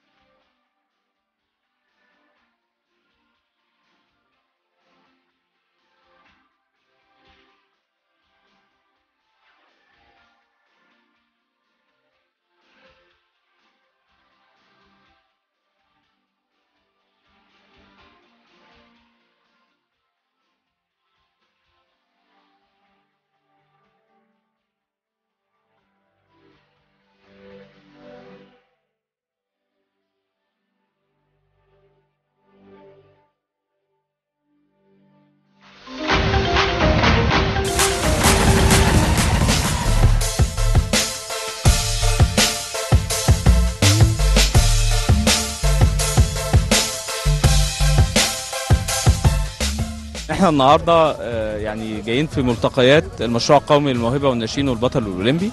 آه، المشروع القومي للناشئين والبطل الأولمبي المشروعات آه، مصر المستقبلية في أعداد البطل حتى 2028 و 2032 آه، إحنا عندنا 11 نشاط ولعبة الألعاب الجماعية ليها طريقة خاصة زي كرة القدم مع شركات خاصة السلة وال- والهاندبول. لكن الألعاب الفردية إحنا يعني مهتمين بيها جدا جدا جدا. الحمد لله الولاد بدأوا يعني يجيبوا بطولات آه، سواء جمهورية أو أفريقيا أو بحر متوسط لبعض الألعاب اللي اتلعبت يعني. فإحنا شغالينه بشكل علمي جدا والنهاردة حتى في بعض الاتفاقات مع جامعة الإسكندرية كباك اب علمي مع الشغل بتاعنا مع السيد رئيس الجامعة الدكتور عبد العزيز قصوى وعميد الكلية. آه، لأن النهارده في ألعاب قوة وأدي كورة وهنمر على بقية الألعاب اللي موجودة إن شاء الله يعني. تجمع رائع بين المحافظات والمدربين واللعيبة وطبعا بنشكر سيادة الوزير على الدعم و- للموهبه البطل الأولمبي. حاجة بصراحة ربنا ممتازة. قاعدة قاعدة ناشئين أكثر من رائعة. بإذن الله تكون بوادر خير لميدالية أولمبية إن شاء الله. لازم أجيب أول عشان عشان احقق اللي أنا نفسي فيه. نفسي أبقى بطل أولمبي. نشكر سيادة الوزير إن هم اتاح لهم فرصة آه، وهي مش أكاديمية تجارية زي الأكاديميات لا دي حاجة من آه، القادة طبعا السيد عبد الفتاح السيسي اللي هو عامل عايز يطلع مشروع قومي لعيبة تكون طالعة إن شاء الله تشرف مصر. وإحنا بنجتهد وإن شاء الله بإذن الله نوعد سيادة الوزير إن المشروع القومي ده هيطلع لعيبة بإذن الله تشرف مصر. بنتدرب ثلاث أيام في الأسبوع. وبنتدرب تمارين حلوة جدا يعني تطلع لعيبة و... والمشروع القومي ده غير أي مشروع قومي تاني اتعمل. إن المشروع القومي ده في دفعة كانت قبلنا طلعت على إسبانيا وبتطلع النوادي ياما قوي بره مصر وجوه مصر وبره إسكندرية وكده. المشروع ده يعتبر الوليد بتاعه اللي هو المشروع القومي للموهبة البطل الأولمبي. آه، مع الوزير النهارده عامل المشروع دوت علشان نخرج لمصر مواهب ونشترك في الأولمبياد وبالنسبه للألعاب الفردية. أو ال- الجماعية. فعندنا النهارده المشروع ده فيه سبع ألعاب أولمبية وفي آه، بالإضافة للالعاب الجماعيه الألعاب الأولمبية اللي هي الفردية زي رفع الأثقال والجودو والتايكوندو وألعاب القوة. آه، بال plus ال- كرة- ال basket ال- ال basket وكرة القدم وال handball. النهارده المشروع القومي Stars of Egypt لاكتشاف الموهوبين في كرة القدم. إحنا النهارده موجودين وجايبين مدير فني كابتن أحمد الشاذلي. آه، اللي هو يعني نجم نادي الزمالك ونجم نادي الاتحاد. فطبعا آه، ده دليل إن إحنا آه، مع الوزير والدولة مهتمة إن إحنا نخرج ألف محترف آه، زي فخامة السيد الرئيس عبد الفتاح السيسي وجه بال- بالكلام دوت.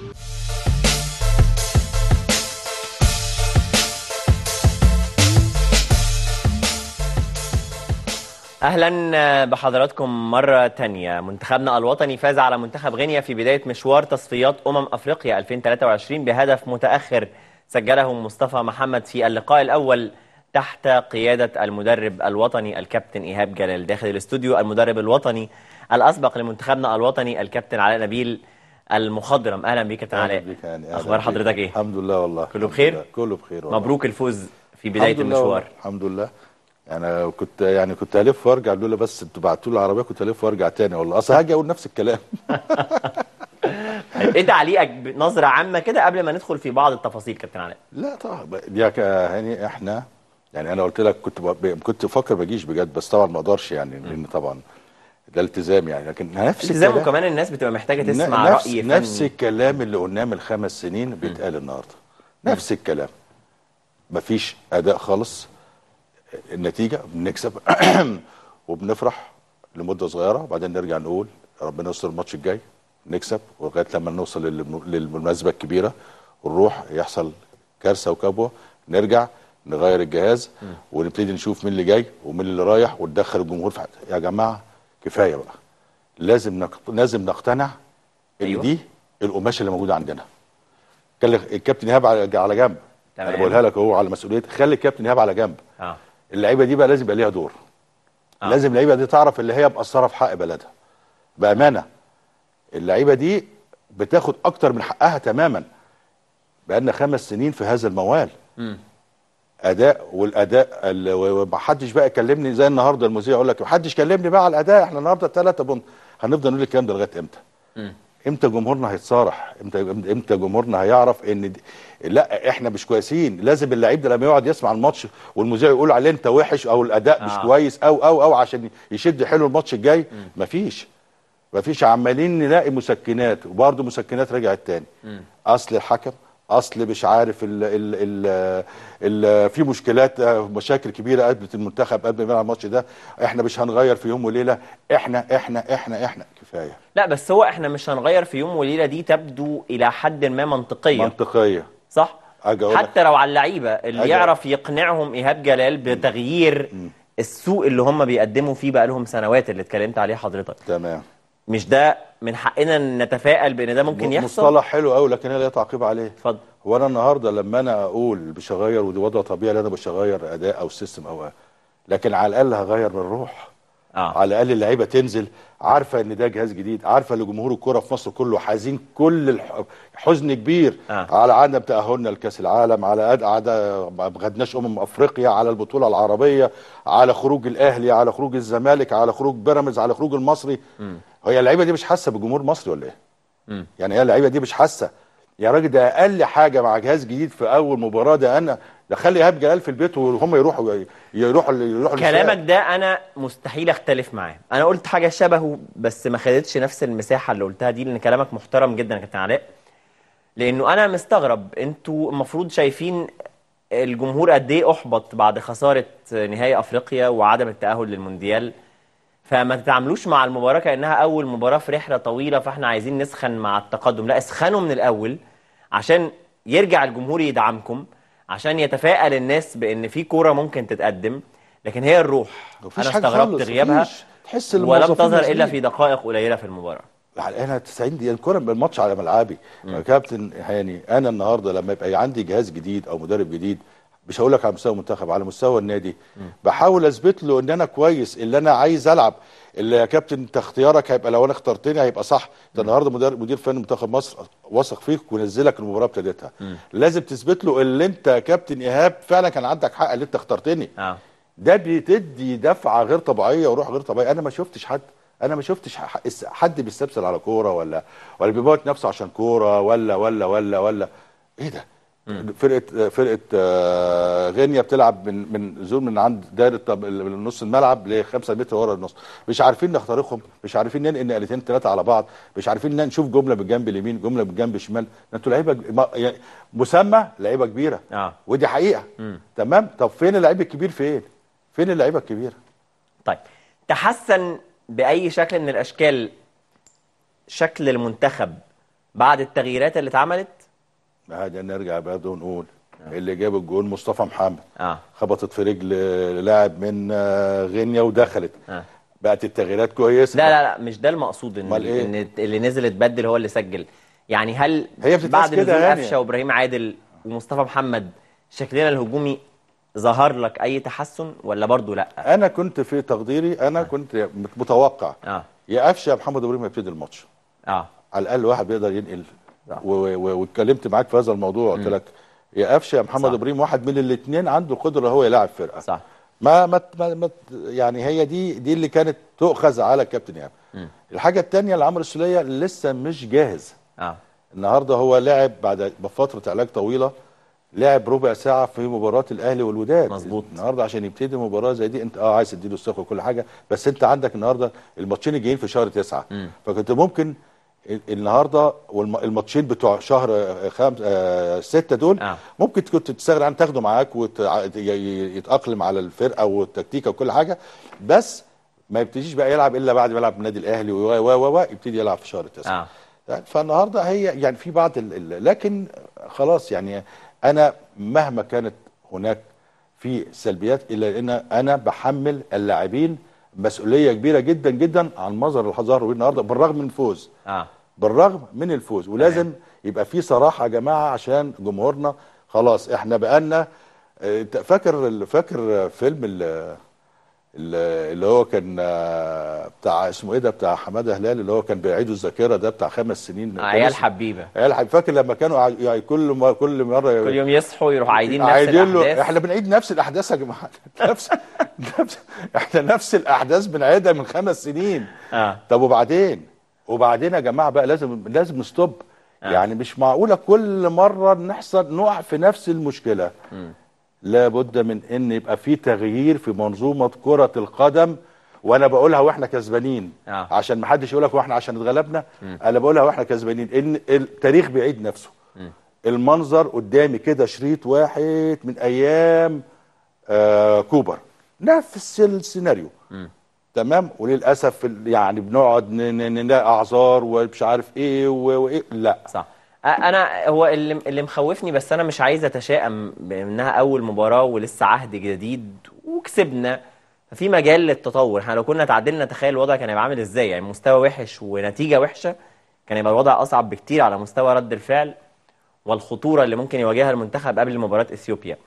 لكن أنا شايف إنه المنتخب محتاج إن هو يبقى فيه حماس شوية عند اللاعبين يبقى فيه رغبة أكتر عندهم وشايف إنه في مجال للتطور الحقيقة. أنا أنا شايف كده. في مجال أتمنى. مش مبسوط النهارده بس, بس, بس مجال. لازم لازم توصل الرسالة للعيبة عشان يحصل في تطور. صح صح. تمام؟ صح. أنا أنا ساعات يعني الواحد ساعات بيقرص على ابنه مم. عشان عايز منه الإيه؟ الأحسن. صح. تمام؟ دول لعيبة مصر. لازم يعرفوا الجمهور زعلان منهم قوي قوي ولازم يعرفوا إن هم مقصرين في حق بلدهم. بس عشان نلاقي بعد كده نتيجة. هيزعلوا مني.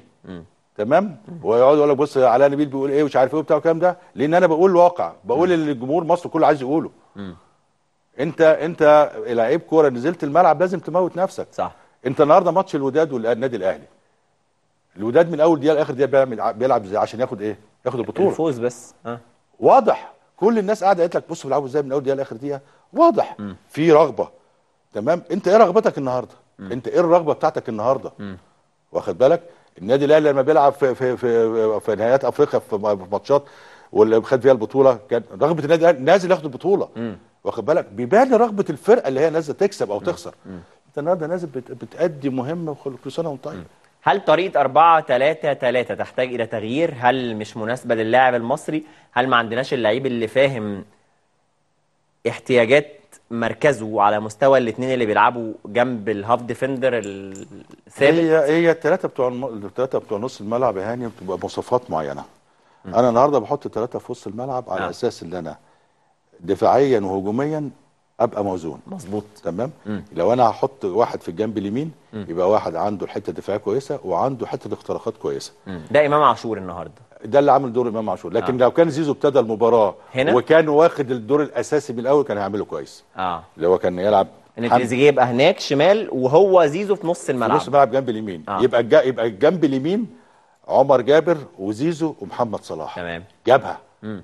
تمام الجبهه دي شغالة على طول الجنب الشمال اللي هو طبعا يبقى حمدي فتحي وعلى شماله واحد defender في الجنب الشمال مم. واخد بالك يبقى مغطيين نص الملعب يبقى عندي برضو ستارة كويسة في نص الملعب مم. يبقى أنا عندي أجناب نفس الكلام الجنب الشمال مم. اللي هو هي- مثلا النهارده السولية. لاعب، آه، هيبقى مثلا السوليه والجنب الشمال لاعب النهارده أيمن أشرف أشرف. وال ال لكن ده هجوميا مش هيبقى زي الجنب. اليمين. مش هيبقى مش هيبقى جنب زي جنب اليمين. أيوه. بيختلف ومش شرط الاثنين يبقوا بنفس القوة. مفهوم. ممكن أبقى أشتغل بالجنب اليمين. الجنب الشمال ممكن يكون أكتر دفاعيا شوية. مثبته أكتر. آه. على أساس عمرو السولية برضو ما عندوش الحتة دي قوي زي زي زيزو. وأيمن أشرف برضو راجل يعني يعتبر third back ثالث يعني بعتبره third back ثالث مش بيقوم بالدور الهجومي قوي يعني. وبتعتمد على الجنب الشمال في ال- الحتة الهجومية. فهي الثلاثه بتوع نص الملعب بيبقوا بمواصفات معينة. آه. طيب محمد صلاح النهارده كرم قبل ال- المباراة من جانب وزير الرياضة ورئيس اتحاد الكرة المصري. إيه رأيك في اللفتة نفسها وإيه رأيك في طريقة التكريم؟ هو النهارده معلش مع احترامي يعني هو النهارده طب ليه ما عملتهاش امبارح في الأوتيل وهم قاعدين؟ ليه النهارده قبل المباراة واحد قدام الجمهور واحد يعني واحد نازل المباراة آه. وأشغل باله ليه بتكريم ومش بتكريم معلش أنا ليا طقوس معينة تمام أنا أصل عشت عشت المنتخبات أيوة. ما تشغلش اللاعب بأي صغيرة وكبيره قبل المباراه آه. ده نازل من أول ما ياخد المحاضرة بتاعته وراكب الباص عشان نروح المباراة والتسخين واوضه اللبس. ده فاضي. ما تشغلوش بقى بتكريم وتشغله بحاجة تانية خالص. مم. في 100 مناسبة ممكن تكرمه. مم. 100 مناسبة. تروح امبارح وفي الأوتيل وفي وسط اللعيبة وتجيب الصحفيين ويكرمه وينام. خلاص خلص. يصحى الصبحية. خلص موضوع التكريم بالليل. لكن أنا عشان أشغل لعيب بتكريم قبل المباراة أنا في اعتباري خطأ خطأ طبعا مستوى محمد صلاح النهارده ومستوى باقي اللاعبين مين اللي شدك وحسيت إن ولا مستوى- واحد النهارده شدني. ولا واحد؟ ولا واحد شدني في الملعب النهارده مم. ودي تبقى ودي دليل على إن الموضوع مش طب أنت النهارده أنا ممكن نحاول أنا السؤال طبعا ممكن. أنت النهارده مين مين اللي شدك في المباراة النهارده حسيت في مجهود وفير من عمر جابر دفاعا وهجوما ما عملش عرضيات كتيرة لكن يعني كان بي- بيحاول يعمل جبهة مع محمد صلاح عمر مرموش ما قدمش مستوى جيد لكن عمل مجهود وتحركات وتحديدا لما اتنقل ناحية الشمال ممكن نقف عند عمر مرموش آه. شوية يا عمر انت الناس آه، اديتك آه، لقب كبير قوي والناس متعشمة فيك الخير و... وقالوا نجم. انت فين مم. انت فين يعني انت خدت فرص كتير قوي انت فين حتى الآن انت لم تسجل غير هدف واحد مع منتخب مصر في ليبيا مم. تمام وكانت ليبيا ناقصة واحد أديت مباراة كويسة جون كويس توقيت كويس حاجة جميلة حاجة بتاعت ربنا اللي هي بتساعدك على التقدم الناس عشمانة فيك مم. الناس عشمانة في إن أنت نجم جديد صغير تقدر تعمل حاجة لمنتخب مصر مم.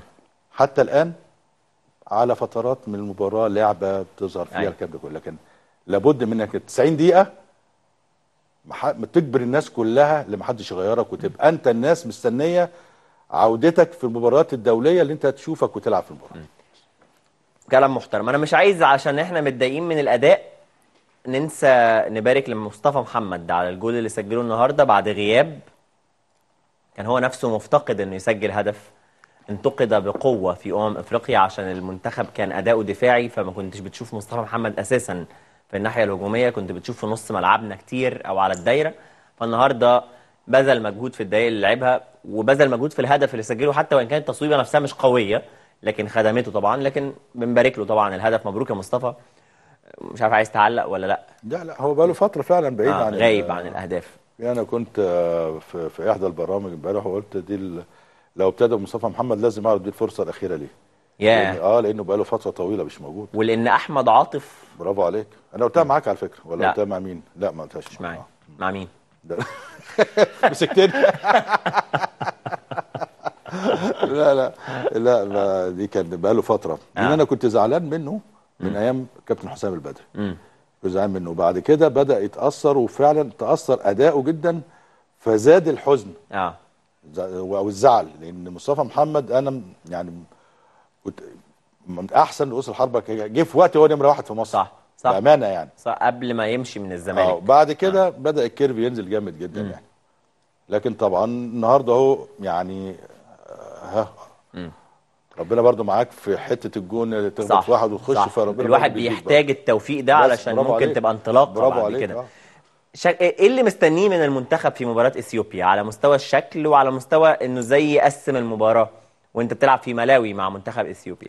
طبعا أنت هتقابل آه، ضغط جماهيري في ملاوي خلي بالك. ملاوي أنت النهارده كسبان زيها. بالظبط. وأنت الناس فرحانة اللي هو مش هيلعب في أثيوبيا.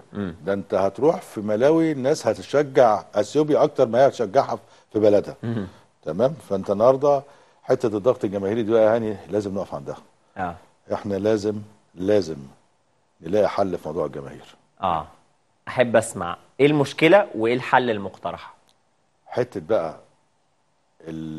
لازم نفتح أبواب ال- ال- الجماهير زي زمان. الناس اللي بتروح تشجع بقلب. الناس اللي هي ممكن تحوش مبلغ صغير عشان تروح تدفع تذكرة وتروح تقعد في المدرج وماسك ال- الطبلة زي زمان وده واقف واقف الجمهور. الليفل اللي موجود دلوقتي في المدرجات حاجة حاجة تفرح. لكن. مش ده حاجة إيه؟ حاجة تفرح حاجة level كويس يعني تمام؟ لكن كرة القدم محتاجة level تاني.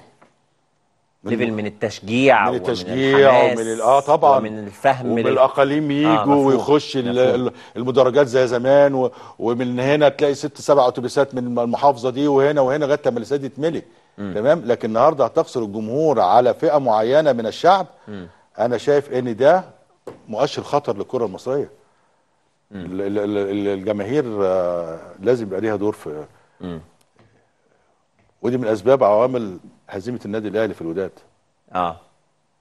موضوع الجمهور إنه مش بيتعامل اللاعب مع جمهور كتير في ملاعب. المباريات في يا مصر. هاني كان أيام ما كنا بنلعب كان اللعيب مثلا بيلعب الأهلي أو الزمالك أو أو اللي هو الأندية الجماهيرية أو الاتحاد أو المصري لما يبقى متعادل والكرة بتطلع أوت كان بيخاف يطلع يجيبها عشان لو طلع يجيبها هتلاقي واحد في المدرجات بيزعق له والحاجات دي آه. كلها.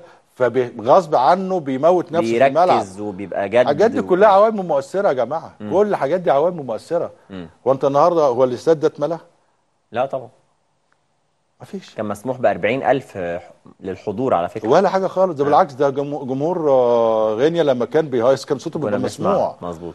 فالنهاردة الموضوع لا، منظومة كرة القدم هاني لازم كلها تتغير لو سمحت. ماشي موافق. كل حاجة. محمد صلاح إذا غاب بما إن في احتمالية لده اتقال إنه الكابتن إيهاب جلال قال إن ليفربول طلب أساسا إنه يريح في المعسكر ده آه. لكن هو صمم على وجوده. وأنا شايف إنه تصميمه على وجوده في أول مباراة مهم جدا لكل المستويات لصلاح نفسه للمنتخب لإيهاب جلال لمنع أي كلام عن إنه ليفربول ولا المنتخب والكلام ده. وكمان جوه يعني النهارده مدرب آه، آه، غينيا نفسه قال إن صلاح وتر لعيبة المنافس. قال لعيبه اتوترت عشان كانوا مركزين مع صلاح زيادة عن اللزوم. خارج بيزك فمرهق فمحتمل إنه ما يلعبش. فإذا لم يلعب شكل المنتخب بتشكيلته تكون عاملة إزاي؟ أقول لك حاجة يعني هو طبعا هو موقف يعني طبعا يحسب لصلاح اللي هو آه، طبعا اصر اللي هو يلعب. برضه ليها أبعاد تانية خالص. تخص ناديه وتخص منتخب مصر والحاجات دي كلها. لكن لازم لازم لازم أي مدير فني يجي يبقى عنده الخطة والتشكيل البديل في عدم وجود محمد صلاح. مم. تمام؟ محمد صلاح لما بينزل الماتش الناس كلها مستنية هو هيعمل إيه. مم. أنت النهارده واضح جدا إن أنت مرهق واضح جدا مم. إن أنت مرهق تمام؟ آه لما تلاقي ظروف زي كده واخد بالك؟ لابد من أنت تنتهز الفرصة اللي أنت تشوف إيه اللي أنت ممكن تعمله إن ممكن في لحظة لا قدر الله قبل الماتش بساعة زي ما حصل النهارده آه محمد صلاح مش هيلعب. آه. هتتصرف إزاي؟ صح. فلازم يبقى عندك التباديل والتوفيق فيه إن أنت تشوف الدنيا ماشية إزاي. طب نعتبر إن ده الماتش اللي جاي يبقى شكلنا إزاي على المستوى الهجومي؟ على ش... على المستوى الهجومي مع يعني أنا في تقديري إن ال- ال- الأول في المكان محمد صلاح هو زيزو. مم. ويعرف قبليه ما بيعرفش قبل الماتش لأن هو طبعا حتة اللي هو نزوله فجأة دي وناحية مش اثرت عليه. بتاعته كمان الناحية الثانية أثرت عليه. كانت جابها صعبة برضو أيمن أشرف بأدوار هجومية قليلة مع زيزو مش في مكانه. عشان كده قلت لك أيوة. إيه يعني الجبهة دي صح. هجومية والجبهة دي ما بتبقاش قوي. نقرا تعليقين ثلاثة قبل ما. اخد رأيك في قصة المقترح لتقليل عدد الأجانب في الدوري الممتاز وإن اللاعب الأجنبي يكون بيلعب 10 ماتشات على الأقل دولية قبل ما ينضم لفريق. آه، أحمد عبد التواب ده على صفحتنا على الفيسبوك صفحة البرنامج القناة. ماتش أول ممتاز تحت قيادة إيهاب جلال. عملنا فيه كل حاجة إلا كرة القدم. طارق آه، مو نفس اللاعبين ونفس المستوى حتى لو جبت أحسن مدرب في العالم قلنا من شوية. ماشي. آه اللي جاي أحسن إن شاء الله ده. محمد فتحي. 8 من 10 عبد الرحمن راشد. أبو علي عون أسوأ أداء. اللي جاي أحسن. أدهم. خلاصة الكلام نقدر نقول إن الجيل ده خلاص مش هيعمل حاجة ننتظر فقط الجيل اللي بعده. دي رسالة تبدو شبيهة من الرسالة بتاعتك لكن ده أنا قايلها لك بقالي فترة لكن لا إن شاء الله يعني لازم يعني لازم هم يفوقوا ويعرفوا قد إيه الناس محبطة من المستويات ومن. النتائج فوجود مستوى ونتائج اتحاد الكورة آه. لازم يطلع يقول لجمهور الكورة المصري إحنا بنعمل واحد اتنين تلاتة عشان خاطر في خلال تلات أربع سنين نلاقي عندنا طفرة في كرة القدم مم. لكن اللي بيحصل ما ما فيش حاجة خالص مدين بيقول مباراة كويسة بالنسبة لإيهاب جلال الفرق كلها قوية إن شاء الله الجاي أحسن. حازم شرف بيقول مفيش جديد نفس طريقة اللعب مفيش تفاهم خالص مفيش جمل تكتيكية. الونش بيقول ربنا معاه مع إيهاب جلال يعني. أشرف آه، عاطف فؤاد أن أنا لا أدري أنتم تتحدثون عن أي انتصار ونحن نلعب المباراة بإستاد القاهرة؟ هو فين منتخب مصر؟ أنا مش شايف غير مركز شباب. سعيد الخفاجي من أيام المعلم والمنتخب ما فرحناش ومستوى اليوم لا يبشر بالخير فقط عندنا حراس للمرمى. منير عموما هو مدرب محترم وهادئ ويجب دعمه لكن اللاعبين عندهم مشاكل وخاصة في اللياقة. غينيا كادت تهزمنا بسبب اللياقة العالية. دي رسالة محترمة جدا. آه طبعا. حط ايديه على وضحت نقطة الشوط الثاني يعني. بالظبط. نقطة مهمة جدا. أخيرا تعليقك على المقترح اللي بيدرسه اتحاد الكرة دلوقتي كابتن علاء على المستويين. عدد الأجانب من خمسة لأربعة أو ثلاثة وإن يكون في شرط إن يكون لاعب 10 ماتشات دولية قبل ما ينضم للدوري المصري. عشان ماتشات دولية دي, دي هتقطع عيش ناس كتير قوي امم يعني أي حد بيجي. آه. أي حد بيجي. مم. أي حد ممكن يطلع مدينة البعوث ويجيبوا المطار القاهرة ويقول لك ده. أنا أتفق معاهم تماما اللي إحنا مم. لازم لاب- لابد من إن اللعيبة بتاعتنا تلعب وتتطور. ونفس الكلام على ال- اللي أنت بتتكلمه على اللعيبة نفس الكلام على المدربين. آه. نفس الكلام على المدربين. بمعنى؟ لابد يبقى مع عندنا مدرسة كروية في أندية الدوري الممتاز تستطيع إن هي تس... تطور من أداء اللاعبين الموجودة وتطلع منهم حاجات كتيرة قوي وتعلمهم هو الحاجات دي كلها. مسؤولية مين؟ اتحاد الكورة طبعا. أي حاجة في كرة القدم تحت بند اتحاد الكورة. كابتن إحنا لغاية دلوقتي بدون مدير فني لاتحاد الكرة ولا ليه لازمة. كابتن أنا علمت إنه كان الاتحاد الأيرلندي ودي هتكلم عنها بشكل مفصل لاحقا. بعت للاتحاد المصري بيقول له إن إحنا عندنا استعداد نعمل برنامج لتدريب المدربين بتوعك. فلم يرد الاتحاد مستنيين بس رد على الإيميل بالموافقة فإحنا نبعت. فلم يرد الاتحاد المصري على الإيميل. فأنت أساسا الرغبة في تدريب أو تطوير مدربيك مش موجودة. وما عندكش مدير فني للاتحاد يحط الاستراتيجية. ده أنت ما عندكش مدرب منتخب أولمبي بس خلي دي في نقطة في سياق آخر. لكن آه فين ال... فين الرغبة في التطوير؟ بنقعد ثلاث أربع أيام نتكلم بعد خسارة بطولة. بس. أيوه. صح. مع آه. شوية وعود حلوة. أيوه. بلا أي تنفيذ. وفلان مرشح وفلان آه. آه. مرشح وده اللي جاي. و... أو على مستوى الأندية والمدر... وال- والمنتخبات. مم. يعني كابتن حلمي طولان من ثلاث أيام آه آه سب استقال من نادي أنبي بالظبط سبع دقائق فلان وفلان أقوى مرشحين. أقوى مرشحين لأنبي. ارحمونا بقى. ارحمونا بقى. أنا أقول لك مثال صغير بس على مدير فني الاتحاد آه. من خمس أيام نزل منشور من الاتحاد المسابقات مواليد كذا وكذا وكذا وكذا وكذا تمام. ويعني فيها بس بدون طب أنت النهارده على وشك إن أنت تعين مدير فني للاتحاد. طب ما تصبر يجي هو يقرر وتقعدوا مع بعض آه. وتشوفوا وجهات النظر وت... وتشتغلوا على هذا الأساس طب أنت النهارده جاب بت... عايز مدير فني للاتحاد ليه مم. ما ده ده حاجة صغيرة. مقترح إلغاء دوري 2011 ده إيه تأثيره؟ عشان أنا ما عنديش معلومة بس أكيد أنت اللي ممكن تفسر لنا ده. إيه 2011 مقترح النهارده إن دوري 2011 مواليد 2011 يتلغي. ليه؟ إلغاء المسابقة. ده كان ضمن المقترحات بتاعت اللاعبين الأجانب. هل في أي لا لا لا خالص. ده هو رجع بطولة 2004 اللي كانت ملغية. آه. واللعيبة اتسرحت. طب هنجمعها إزاي؟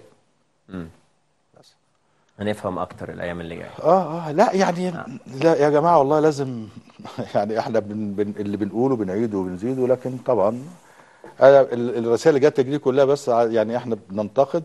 لكن في رسالة بقول لك إن شاء الله اللي جاي أحسن. يا رب يا رب. أحسن. صح صح. وأنا متفائل. إن شاء الله يا رب. آه وأدينا انتصرنا كسبنا ثلاث نقاط أحسن بكتير من عدم الفوز. عارف إن الكلمة دي بتزعلك؟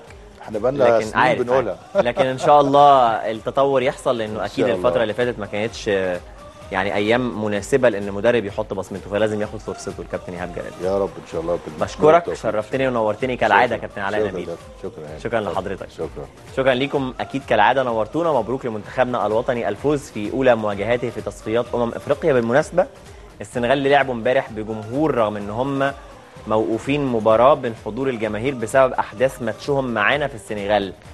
لأنه العقوبة دي كانت من الفيفا فتوقع أو تطبق على مباراة بينظمها الاتحاد الدولي لكرة القدم. يعني نستنى مباراة بيستضيفها السنغال في تصفيات كأس العالم مثلا هيطبق فيها هذا الأمر. تحية كل فريق العمل في الماتش. غدا لقاء جديد في تمام الحادية عشرة مساء وتحياتي هاني حتحوت.